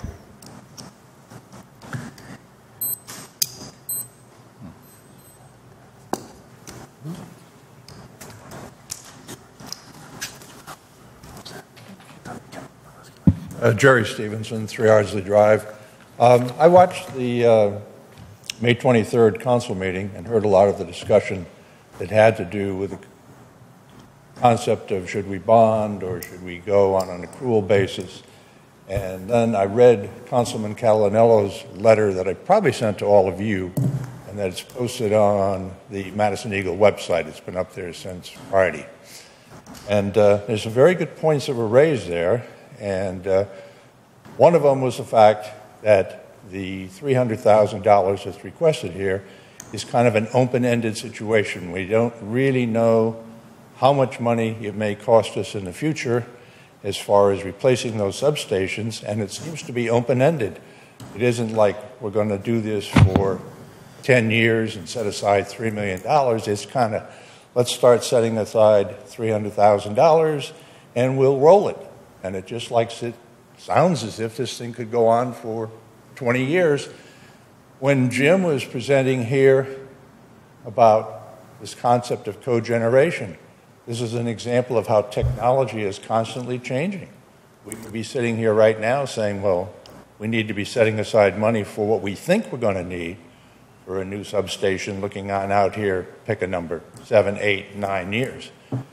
The second point that Councilman Catalanello raised in his letter, which I thought was also very much on the money, was the idea of uh, accountability and the fact that money that has been reserved in the past for dedicated money has suddenly disappeared. And the example quoted, and I remember it vividly, was with that sale of the property on Maple Avenue, a million dollars was set aside on the part of the borough's contribution for the recreation fields.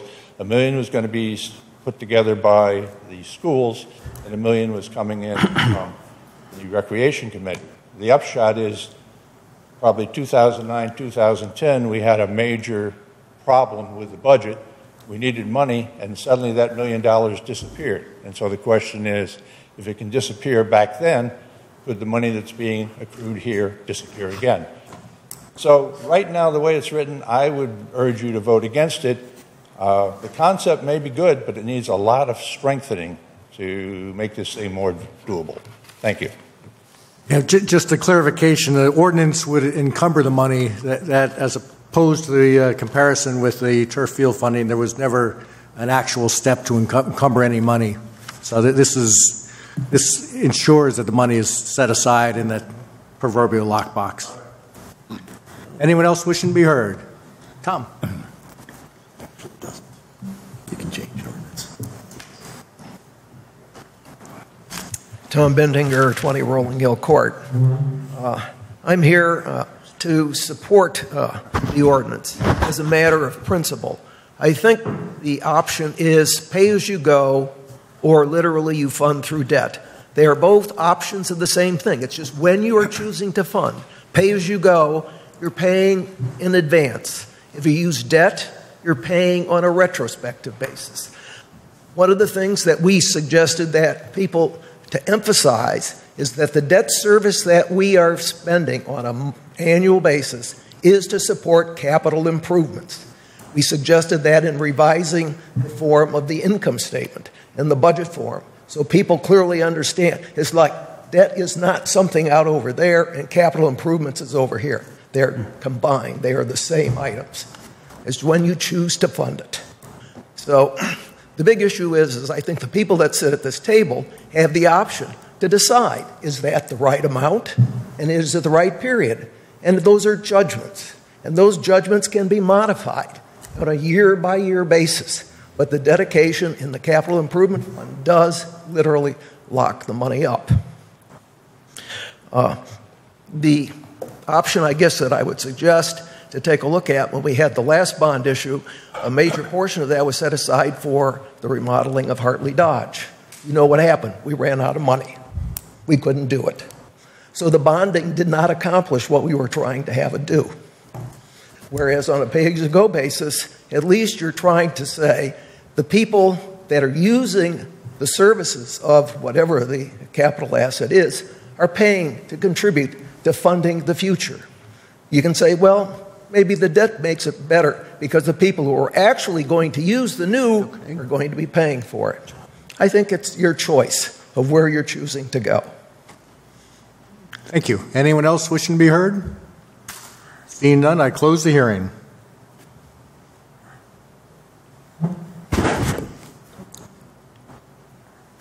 I move uh, ordinance 46-2016. I second it. Council discussion? Ben? Yeah.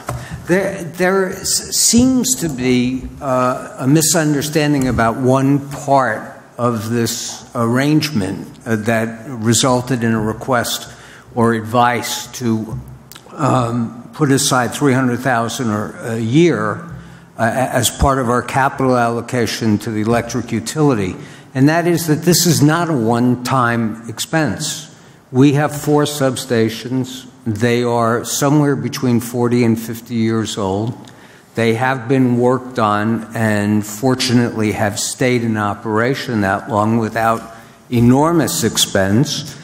You may recall that the um, committee, the, the, the uh, strategic planning committee that dealt with uh, utilities had recommended that we increase our capital allocation to utilities somewhere between 700 and 1.4 million, 700,000 and 1.4 million a year.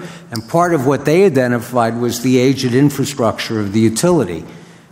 We felt, we being those who had to present this to the council and make recommendation, that it was too wide a, a band. You know, we, it, we would be hard pressed to ask you to come up with a number that has a $700,000 spread in it and give us the authority to do with what we think makes sense. So instead, what we did was decided to hire an outside consultant who had expertise in, in, this area and fortunately was quite familiar with our own uh, electric system because he had worked on our grid and given us advice in the past on it. And so we're acting on his advice. He felt that it would be prudent for us to put aside 300, pardon me, $300,000 a year. But let me say that that's not $300,000 for one year or five years or even seven years. That's $300,000 period. And it could go up as substations go up in cost. Substations these days do not last 40 to 50 years. Ask Mike Piano. He loves our substations, and he will be very sad the day we decommission, start to decommission them. But that's inevitable, and the new ones will not stay in operation for 50 years. So we have four of them. It's kind of easy to count. If you think they have an average life of eight to 10 years, which is what we've been told, they're about, I'm sorry, seven to 10 years then it seemed like 300 was prudent, and he included in that, it was someone mentioned, some of the other infrastructure that's part of our electric utility. So, to the question of, and this was the question posed, is it sufficient for the electric utility to manage itself as a business and put aside 250 to 300,000 dollars a year? And the answer was a resounding no. Two components then took a second look. The current administration of the electric utility, who felt that maybe they could add, they should add a little more, and also they were spending out of their operating money what's really capital, and then this outside consultant. We aggregated the numbers, 700,000. So if you want to run the electric utility as a business, and businesses tend not to issue debt for things they can afford or reserve or depreciate, in effect, what we're doing is we're putting aside money as a depreciation against the replacement of major assets that are the core of our electric utility. So I just wanted to make that clear. This is, there's no guess about this. This is 700,000 a year going forward. And unfortunately, like many things in this world, my prediction would be that at some point it goes up. And that's a, as a result of inflation and the cost of the um, in, of replacing portions of the infrastructure of our utilities. Thank you. Other comments? Okay, roll call. Right. Yeah, so my, my concern is that ordinances can be changed. Uh, we changed an ordinance this year on the water uh, utility that Bob, you and I voted for back in 2011. Um, so first of all, I, you know, I, I, I, under, I get it. You know, I, think it's, I think it's admirable. I, think it's a good idea. But, you know, in a lot of ways, politicians are like bankers. They see piles of cash and they have to do something with it. They just can't leave it alone. And, and you know, I mean, given our own history, first with the resolution on the fields and then with the ordinance on the water department, uh, you know, I, I, can't imagine that we're going to amass a cash stockpile of three, four, five, six, seven million dollars. Um, you know, and, and it will all be there. Plus, when you look at the way the municipal budgeting works, you know, you could, you know, there are ways to, you know, you can underfund the electric utility capital one year, you know, draw down, and that's a way to draw down on it. I, I just don't think that it's fair or right to ask current residents, senior citizens today to pay for something they're not going to use. I- I'm all in favor of like let's do the let's do the project now. If, if we're all so convinced that this that we, we need to put this money aside, let's just speed it up a couple of years, and let's just do it now because that's really the only way that we know that the money that's supposedly going to be put aside is actually going to be used for the purpose that it's intended. You know, uh, you know, ordinances can be changed, Bob. We, you guys changed one this year. So there's, there's precedent for that. So uh, it's not, we're not, when you encumber the money, it doesn't mean you can't unencumber it. It, it can, future councils can do all sorts of things that we can have no control over.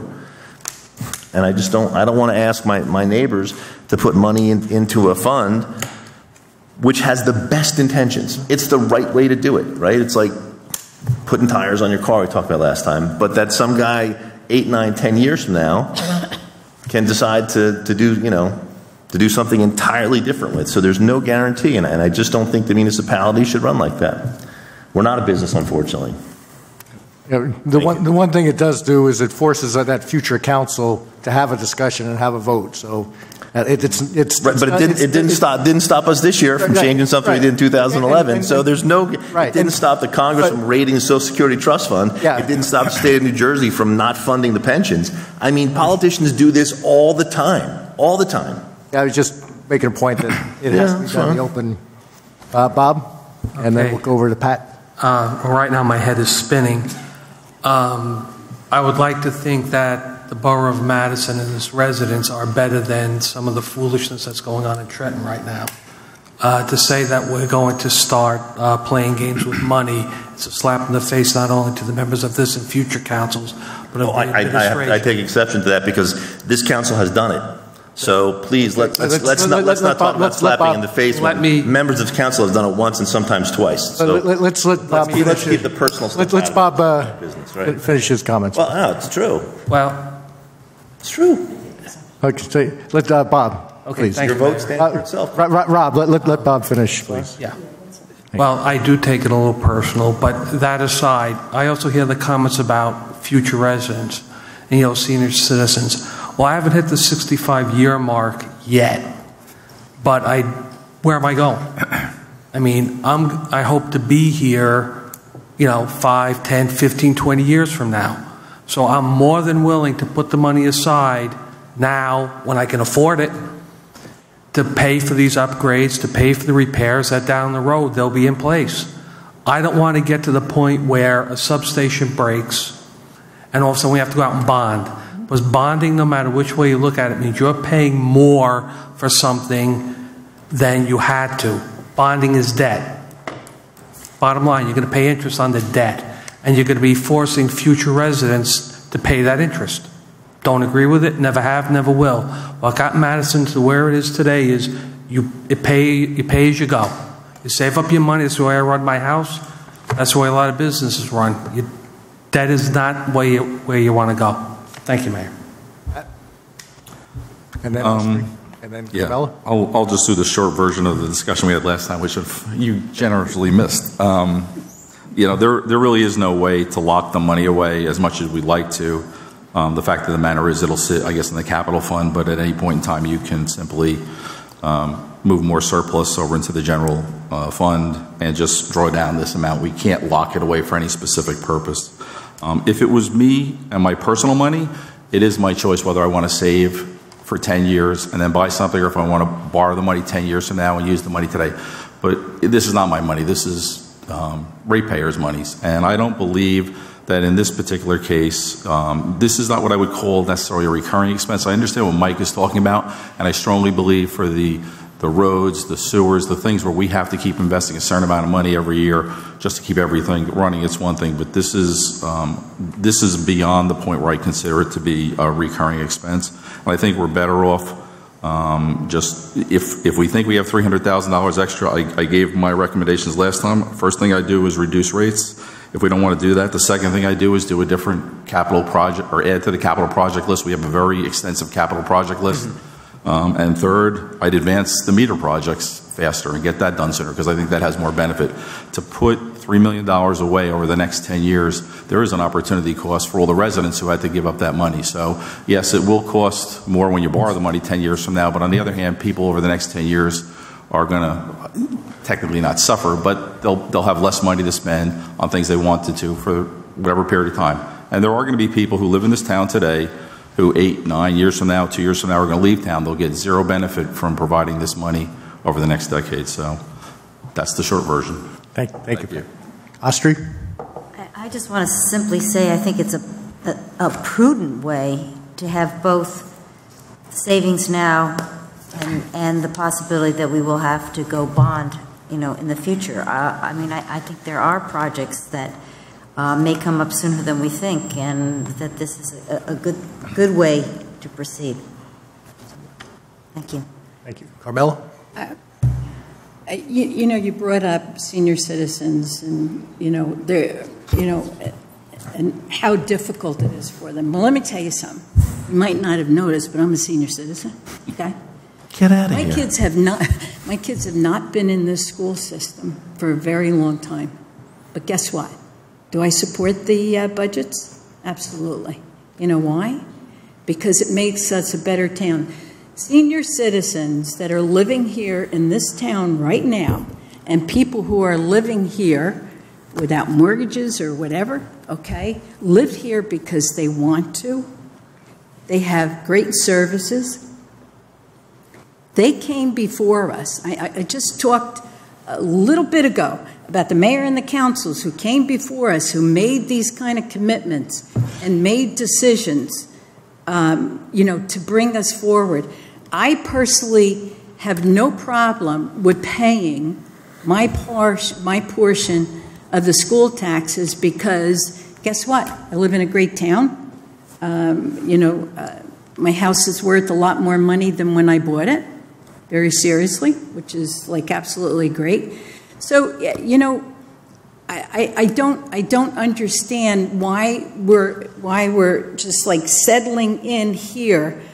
Uh, in the 1990s, when other councils sat here, all we heard, and you can, is pay as you go, pay as you go, and we, us people, that were referred to a little while ago, were, uh, you know, all we want to do is like, uh, you know, spend and bond, okay?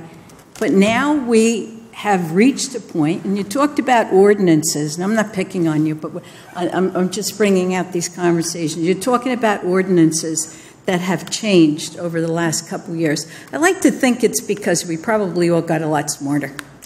Okay, we've had a lot more information. We have a different administration that has helped us and whatever. So, am I afraid? I, I like to listen to uh, the electric uh, supervisor, Mike Piano, say, as Ben stated, these substations cannot be replaced by anything that is being manufactured today.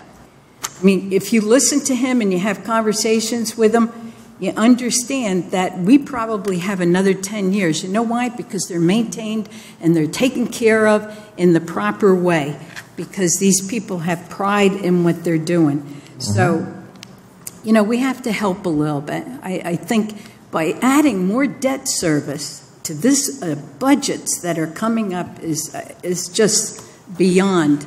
And, and I, I'm, I'm a great believer anymore. I, I, don't, I don't fix anything until it's broke because that's, that's the way I feel about things. All right? When it breaks, then I call somebody, you know. And I, to spend $3 million on something that is working, you know, exquisitely just doesn't make any sense. So that, that's all. I want to. Got uh, Ben and then Rob? Sure. Thank you. Um, with some reluctance, maybe I should dust off my PhD in economics for two minutes and, and go back about longer than I'd like to, but go back about 45 years when actually discussions like this were carried on regularly in a more theoretical context. And discussion at that point in public finance was do you fund projects as pay as you go, or do you fund projects as pay as you use? And um, many careers were built on that discussion. I mean, that was very, considered a, a core issue in equity in, in economic marketplaces. It also relied heavily on some of the assumptions that economists love to make, which is that everyone has all the information they need, everyone's rational, the market drives the decision ad nauseum. What happened after those discussions was, in practicality, that whole discussion now has moved, and, and economists will tell you that they're of a mind that if an expense uh, capital or otherwise, is recurring, then you should reserve for it and pay as you go. And if it's non recurring, then you should bond for it. Now, discussions about equity and who pays for what are important. And, and they really are important to the mindset of an economist. In practicality, they're, they're unenforceable. If, for example, you took the, the, the uh, occasion to talk about schools. Fine. I can talk about fields. I gladly paid. I even contributed to the fields. And I have never been on them, and in all likelihood will never be on them because my playing days are over and my children don't live here. My children don't go to school here. You know, you can just go on and on. And then how do you assess it if you say to someone, well, you've used this for X number of years, but that didn't fully pay for it. And by the way, you can't leave town now and move out of here because you're not finished paying for it. I mean, it gets, it gets into unmanageable situations. So the short of this is if you want to be a theoretical economist, which at one point I actually didn't want to be, you, you can play this out as an equity issue and indeed reach the conclusion that people who are objecting to this $300,000 allocation are objecting to. If you want to do it in a practical way and do it in a more applied economic sense, which is what the literature seems to be focused on these days, you would adopt this resolution. And I, and I also want to say one other thing. It would be very distressing if indeed we passed this and I found that it, two or five years from now, another council came and changed it but they would be doing it at their own jeopardy because they would have a good probability that they would be sitting here at a point in which a quarter of our electric power system went out. And that's a, that's a good constraint on doing stupid things. So, with that, I, I'm in favor of this ordinance. Uh, I've been in favor of it, and I had something to do with the fact that it's a $300,000 number. Um, would I swear to that? No, but I think our consultant was a pretty good guy, and I'm assuming he, he did the right thing. Thank you. I'm going to tell a joke now because I'm a finance guy, and we used to joke about economists. Uh, no offense. No, it's all right. But you know, we could line an economist, every economist in the world up head to toe, and they would still never reach a conclusion. Uh, I'm also Sicilian, so I don't trust anybody. Um, so, uh, you know, it's a non sequitur to compare $300,000 a year reserve that we can't count on actually being used for the purpose, the good intentioned purpose, and your school taxes. It's we might as you know it's we might as well compare red jelly beans to the portrait of Martha Washington. They're irrelevant. Okay, what what what I what what I think we need to, to keep in mind is there is no control over this money, none. Okay, the school budget there's control over. The three hundred thousand dollars we're we're putting away Okay, we're hoping that people in the future do the right thing. Okay? I would much rather, okay, be certain that the money that we're putting toward, okay, a potential project is used for that project. Okay? And, and like Pat says, and I agree, well, I agree, I, you know, I, I think that the individual is, is a much better decider of how do you spend their money than future governments, than government in general and, and, and councils in the future, maybe 10 years from now. We don't know what's going to happen. So that's why I'm against this. You know, call me crazy, and I love I love economists. By the way, they're they're good guys. It's all right. I didn't take either comment. there you go. but the website. All right, I, I think we could. Uh, Sidebars. Yep, I think we're, that's I about don't think I I think we're ready to call the vote. Uh, Roll call vote, please. Mr. Catalanello? No. Mr. Landrigan? Yes. Mrs. Vitale? Yes. Ms. Baillie? Yes. Mr. Wolkowitz? Yes. Mr. Rowe? No. I um, declare ordinance 46, 2016 adopted and finally passed. I ask the clerk to publish notice thereof in the newspaper and file the ordinance in accordance with the law. Ordinance 47, 2016, ordinance of the Borough of Madison appropriating $40,000 from the Water Capital Improvement Fund for the purchase of utility meters, handheld reading devices, and accessories. I open the hearing. Anyone wishing to comment on ordinance 47, please step forward. Seeing none, I close the hearing. Ben? Oh, I'm sorry, pardon me. Uh, I move ordinance 47-2016. And I second it. Council discussion. Roll call vote. Mr. Catalanello? Yes. Mr. Landrigan? Yes. Mrs. Vitale? Yes. Ms. Baillie? Yes. Mr. Wolkowitz? Yes. Mr. Rowe? Yes. I declare ordinance 47-2016 adopted and finally passed. I ask the clerk to publish notice thereof in the newspaper and file the ordinance in accordance with the law. Ordinance 48, 2016, ordinance of the Borough of Madison appropriating $40,000 from the Electric Capital Improvement Fund for the purchase of utility meters, handheld reading devices, and accessories. I open the hearing on ordinance 48-2016. Anyone wishing to comment on this ordinance, please step forward. Seeing none, I close the hearing. I move ordinance 48-2016. I second that motion. Any council discussion? Roll call vote. Mr. Catalanello? Yes. Mr. Landrigan? Yes. Mrs. Vitale? Yes. Ms. Baillie? Yes. Mr. Wolkowitz? Yes. Mr. Rowe? Yes. I declare ordinance 48-2016 adopted and finally passed. and I ask the clerk to publish notice thereof in the newspaper and file the ordinance in accordance with the law. And now we're on to second of uh, invitations for discussion. This is when anyone in the public may comment on anything. Please step forward, state your name, your address, and write the same on the clip on the clipboard. And please keep your comments three minutes or less. Terry, come on up. Amen. Matt. Hey, Matt. Ready for a second?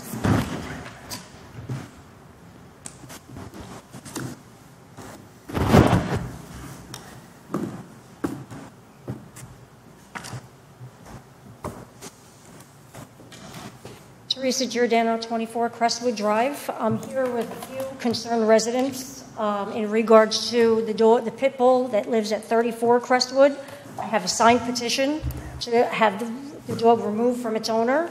Uh, we live in fear each and every day. Our kids are live in fear, and my dog personally is terrorized to even walk up the street. I physically have to drive each and every day up, park up on uh, Cedar and walk my dog. He will not go past the house.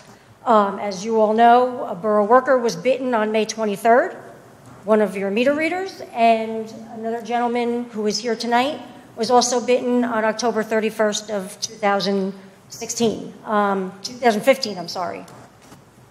Uh, he has also attacked two other people, one including myself, and we would like this dog removed from its owner because she cannot handle him. Um, Matt, can, if, can you uh, cover the process that uh, would be followed for? Uh, uh, from my memory, it's been a little while since I've done this. There's a there's laws dealing with uh, vicious dogs. Um, if a dog bites another uh, person, um, they have to be quarantined and reviewed. Um, that's done through animal control. There's a process by which that's done. Um, animal control can e- issue, uh, an animal control officer can issue um, summonses to have them come to municipal court. Ultimately, if a dog is deemed vicious, uh, there's a process by which, through the court proceedings, the dog can be quarantined and ultimately euthanized. Um, I don't know where this is in the process. I'll be glad to look at it and provide uh, Mr. Cody, Board of Health, and uh, the animal control officer that we utilize uh, with legal guidance. We'll make sure that uh, tomorrow we will, uh, if they have not been notified so far. According to your um, ordinance 15-2005, uh, a vicious dog, a vicious animal, shall mean any animal which at any time, without provocation, has attacked or shall attack a human being or other domestic pet, either while upon or off the premises occupied by the person owning, keeping, harboring, or having the custody of or possession of the attacking animal. Vicious animal shall also mean and include any animal which has caused any human being engaged in a lawful activity or occupancy to be fearful for his own safety by chasing or snapping at such person without provocation. This dog has done such. And we live in prison in our own neighborhood.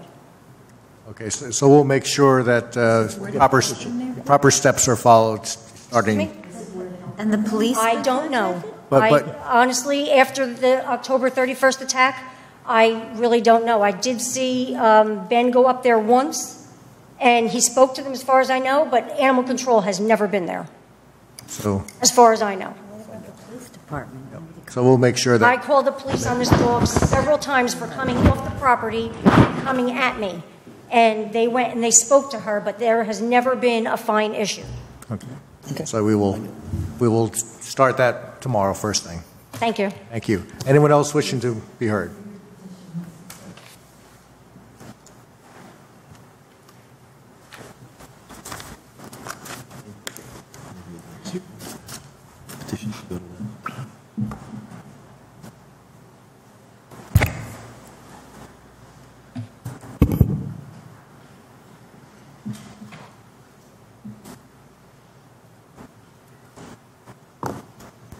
Travis Benway, 9 Lemon Place. Um, as she had mentioned, I was the gentleman who was trick or treating with my then four year old daughter um, when I was attacked by this dog. She saw everything the dog biting me, me bleeding, and me screaming. My daughter's scared. I live in fear. I still have nightmares. Um, and now I hear that another gentleman was bit. My question to you is how many more people does this dog have to bite before something is done? So as stated now, you know, this, um, there is a process. This is the first time we've been made aware of this. And first thing tomorrow, this is a high priority to follow through because certainly the safety of our residents is our, our top priority. Sounds good. Thank you. Anyone else wishing to be heard, please step forward. Seeing none, I close this part of the meeting. The um, clerk, please read the statement related to introduction of ordinances. The ordinance is scheduled for first reading, have a hearing date set for June 27, 2016. Will be published in the Madison Eagle, posted on the bulletin board, and made available to members of the public requesting copies. I call up ordinances for first reading and ask the clerk, borough clerk to read said ordinances by title. Ordinance 49, 2016, ordinance of the Borough of Madison amending Chapter 195 of the Madison Borough Code entitled Land Development Ordinance of the Borough of Madison regarding the PCD-zero zone Giralda Farms. Mayor, I move ordinance 49-2016. A second. Any further council discussion? Roll call vote? Mr. Catalanello? Yes. Mr. Landrigan? Yes. Mrs. Vitale? Yes. Ms. Baillie? Yes. Mr. Wolkowitz? Yes. Mr. Rowe? Yes. Ordinance 50. Ordinance 50, 2016, ordinance of the Borough of Madison amending Ordinance 2, 2016, appropriating $33,500 from the General Capital Improvement Fund for envi- environmental engineering services at the Hartley Dodge Memorial to increase the appropriation from $33,500 to $73,500. Mr. Mayor, I move ordinance 50-2016. I second. Any further discussion? Roll call vote? Mr. Catalanello? Yes. Mr. Landrigan? Yes. Mrs. Vitale? Yes. Ms. Baillie? Yes. Mr. Wolkowitz? Yes. Mr. Rowe? Yes. Ordinance 51, 2016. Ordinance of the Borough of Madison amending Section 185-29 of the Borough Code to prohibit parking on a portion of the east side of Highland Avenue during school and sporting events at the Madison Junior School. Uh, Mayor, I um, move ordinance 51-2016. Second. Council discussion? I guess, could somebody explain what the issue is that's driving the need to prohibit parking? Yeah, th- This is similar to the Lorraine uh, Avenue issue of, um, par- so this is a section of Highland that horseshoes or hooks around by the junior school, so the parking on the, kind of the in- interior on that up, uh, upper part is become an issue as far as sight distance, uh, residents being able to pull, pull in and out of their driveways and so on, so I limited it to, So it's, the east side is, I guess, the, what you call the interior curve? Yep, that would call it. And um, I think the, for the most part, on weekend sporting events, I think the on-site parking is probably underutilized, and so there is certainly ample uh, alternate parking. Are we going to be able to create signs that explain the regulation? Because it says during s- school and sporting events at Madison Junior School. So it's not like Monday to Friday, 9 to 5. It's not, you know. I think it's the same as Burnett. It's, this is the same it? as It's the same Lorraine. thing as I mean, not Lorraine, but Burnett. Yeah. Uh, Burnett is um, an issue because, or it- we, that's solved because the high school is able to tell the kids you can't park there. So that's, you know, and they have the ability to enforce that a variety of different ways. I'm just wondering, you know, when you're talking about sporting events, so soccer Saturday afternoon, um, if somebody decides to park there, how are you going to explain to people that you can't park there for that event? Yeah, it's, I I don't know if there's an easy way to, Okay. I mean, I, I don't, I think it's a good idea. I just want to make sure it's enforceable. Yep. So the residents are in favor of this? Like, I mean, so if they, if they want to have like some sort of a gathering at their home, uh, when there happens to be a rec soccer game, they're not allowed, they're going to have to guess the. Well, I I guess what they're faced with right now is they can't park there anyway because There's no uh, there's no parking because the soccer game's going on, so it's, I I think I... The fair cop, yeah. So, yeah, I think you made your point. I makes a lot of sense. And, and you know, I mean, there's an ordinance in this town that says that you're not supposed to park within 50 feet of, of a stop sign. Well, they're right up next to the stop sign. Mhm. Plus the fact there's all that parking in the junior school. Walk Oh, no, a little no. bit. I don't disagree. I just want to be sure it's enforceable because it's. I, I've been down there a couple of times. It's a nightmare. Yeah. You don't, you cannot get a car Mhm. hardly through, and God forbid if there's uh, some kind of ambulance or a fire truck that has to go down there, somebody's going to get hurt seriously. I I think one of the things we could uh, ask to be done is the the leagues that use the junior school is give them some, a blurb Yeah. that they can send out to the, uh, those registered so that they, they get the word on it. That's fine, yeah, as long as we can do that. Like I said, for the high school, it's easy because you go to the principal and the vice principal, and they just tell all the kids, you don't park there, otherwise there's consequences. So it's, it's a simple population. The other people park there are not a problem. This is going to be people coming from around Madison and possibly out of town even. Yep. And hopefully they'll understand that if they're parking for the, a ball game, that do not use it during sports. I just want to let Oh, that's me. I don't want to let unhappy people at the traffic court saying, well, there's no sign or the sign was vague. Well, as, Listen, know that Joe doesn't like to put signs up. Yep. As uh, Judge uh, Troxel did one time when a, uh, someone contested a, um, a weekend parking ticket on the Crescent of the train station because at the time the sign was not in a good spot. He did uh, waive the parking ticket, but he said, but now you know. And I know you. All right, roll call vote, please. Okay. Mr. Catalanello? Yes. Mr. Landrigan? Yes. Mrs. Vitale? Yes. Ms. Baillie? Yes. Mr. Wolkowitz? Yes. Mr. Rowe? Yes. Okay. Consent agenda resolutions. Will the clerk please read the statement? Consent agenda resolutions will be enacted with a single motion. Any resolution requiring expenditure is supported by a certification of availability of funds. Any resolution requiring discussion will be removed from the consent agenda. All resolutions will be reflected in full in the minutes. Mayor, I move Resolution 180-2016 through Resolution 196-2016. We have a, um, before discussion, a um, revision on Resolution 184. On Unpaid position. And so the, um, with the first whereas, whereas the Assistant Borough Administrators recommended the appointment of Drew University Civic Scholar Thomas Ensminger as part-time unpaid intern in the Administration Department, period. So take out the $9 an hour. I second. All right, any, any discussion on any, any of the others? Okay, roll call vote, please. Mr. Catalanello? Yes. Mr. Landrigan? Yes. Mrs. Vitale? Yes. Ms. Baillie? Yes. Mr. Wolkowitz? Yes. Mr. Rowe? Yes. Just for Louise. Right. Missing a page here. Um, unfinished. Uh, it's at the bottom of, it's on the bottom of the consent agenda down on the bottom. on the teeny Oh, there we go, unfinished business. Oh, it's all in one line, no wonder I, Trying to that's save- saving paper, very good.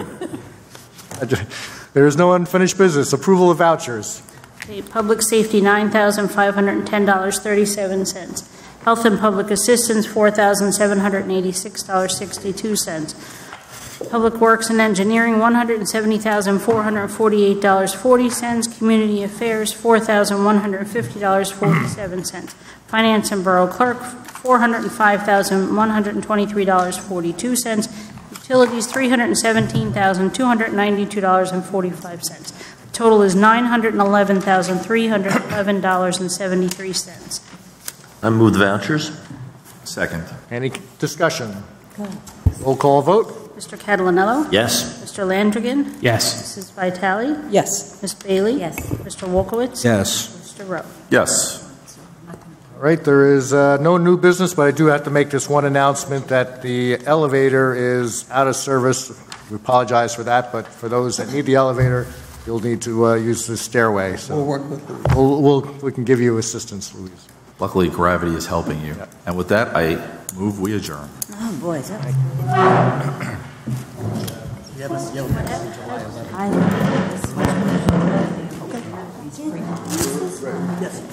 don't like these chairs? Looks fine with these chairs. I don't like that chair at all. No, because I'm not big enough to sit. Oh, I didn't know about that. No, I, my legs don't really reach the ground, and my, I, they might be the same one. I don't like the way where it hits my legs. I'm uncomfortable. Oh, it's, I still don't have a kitchen.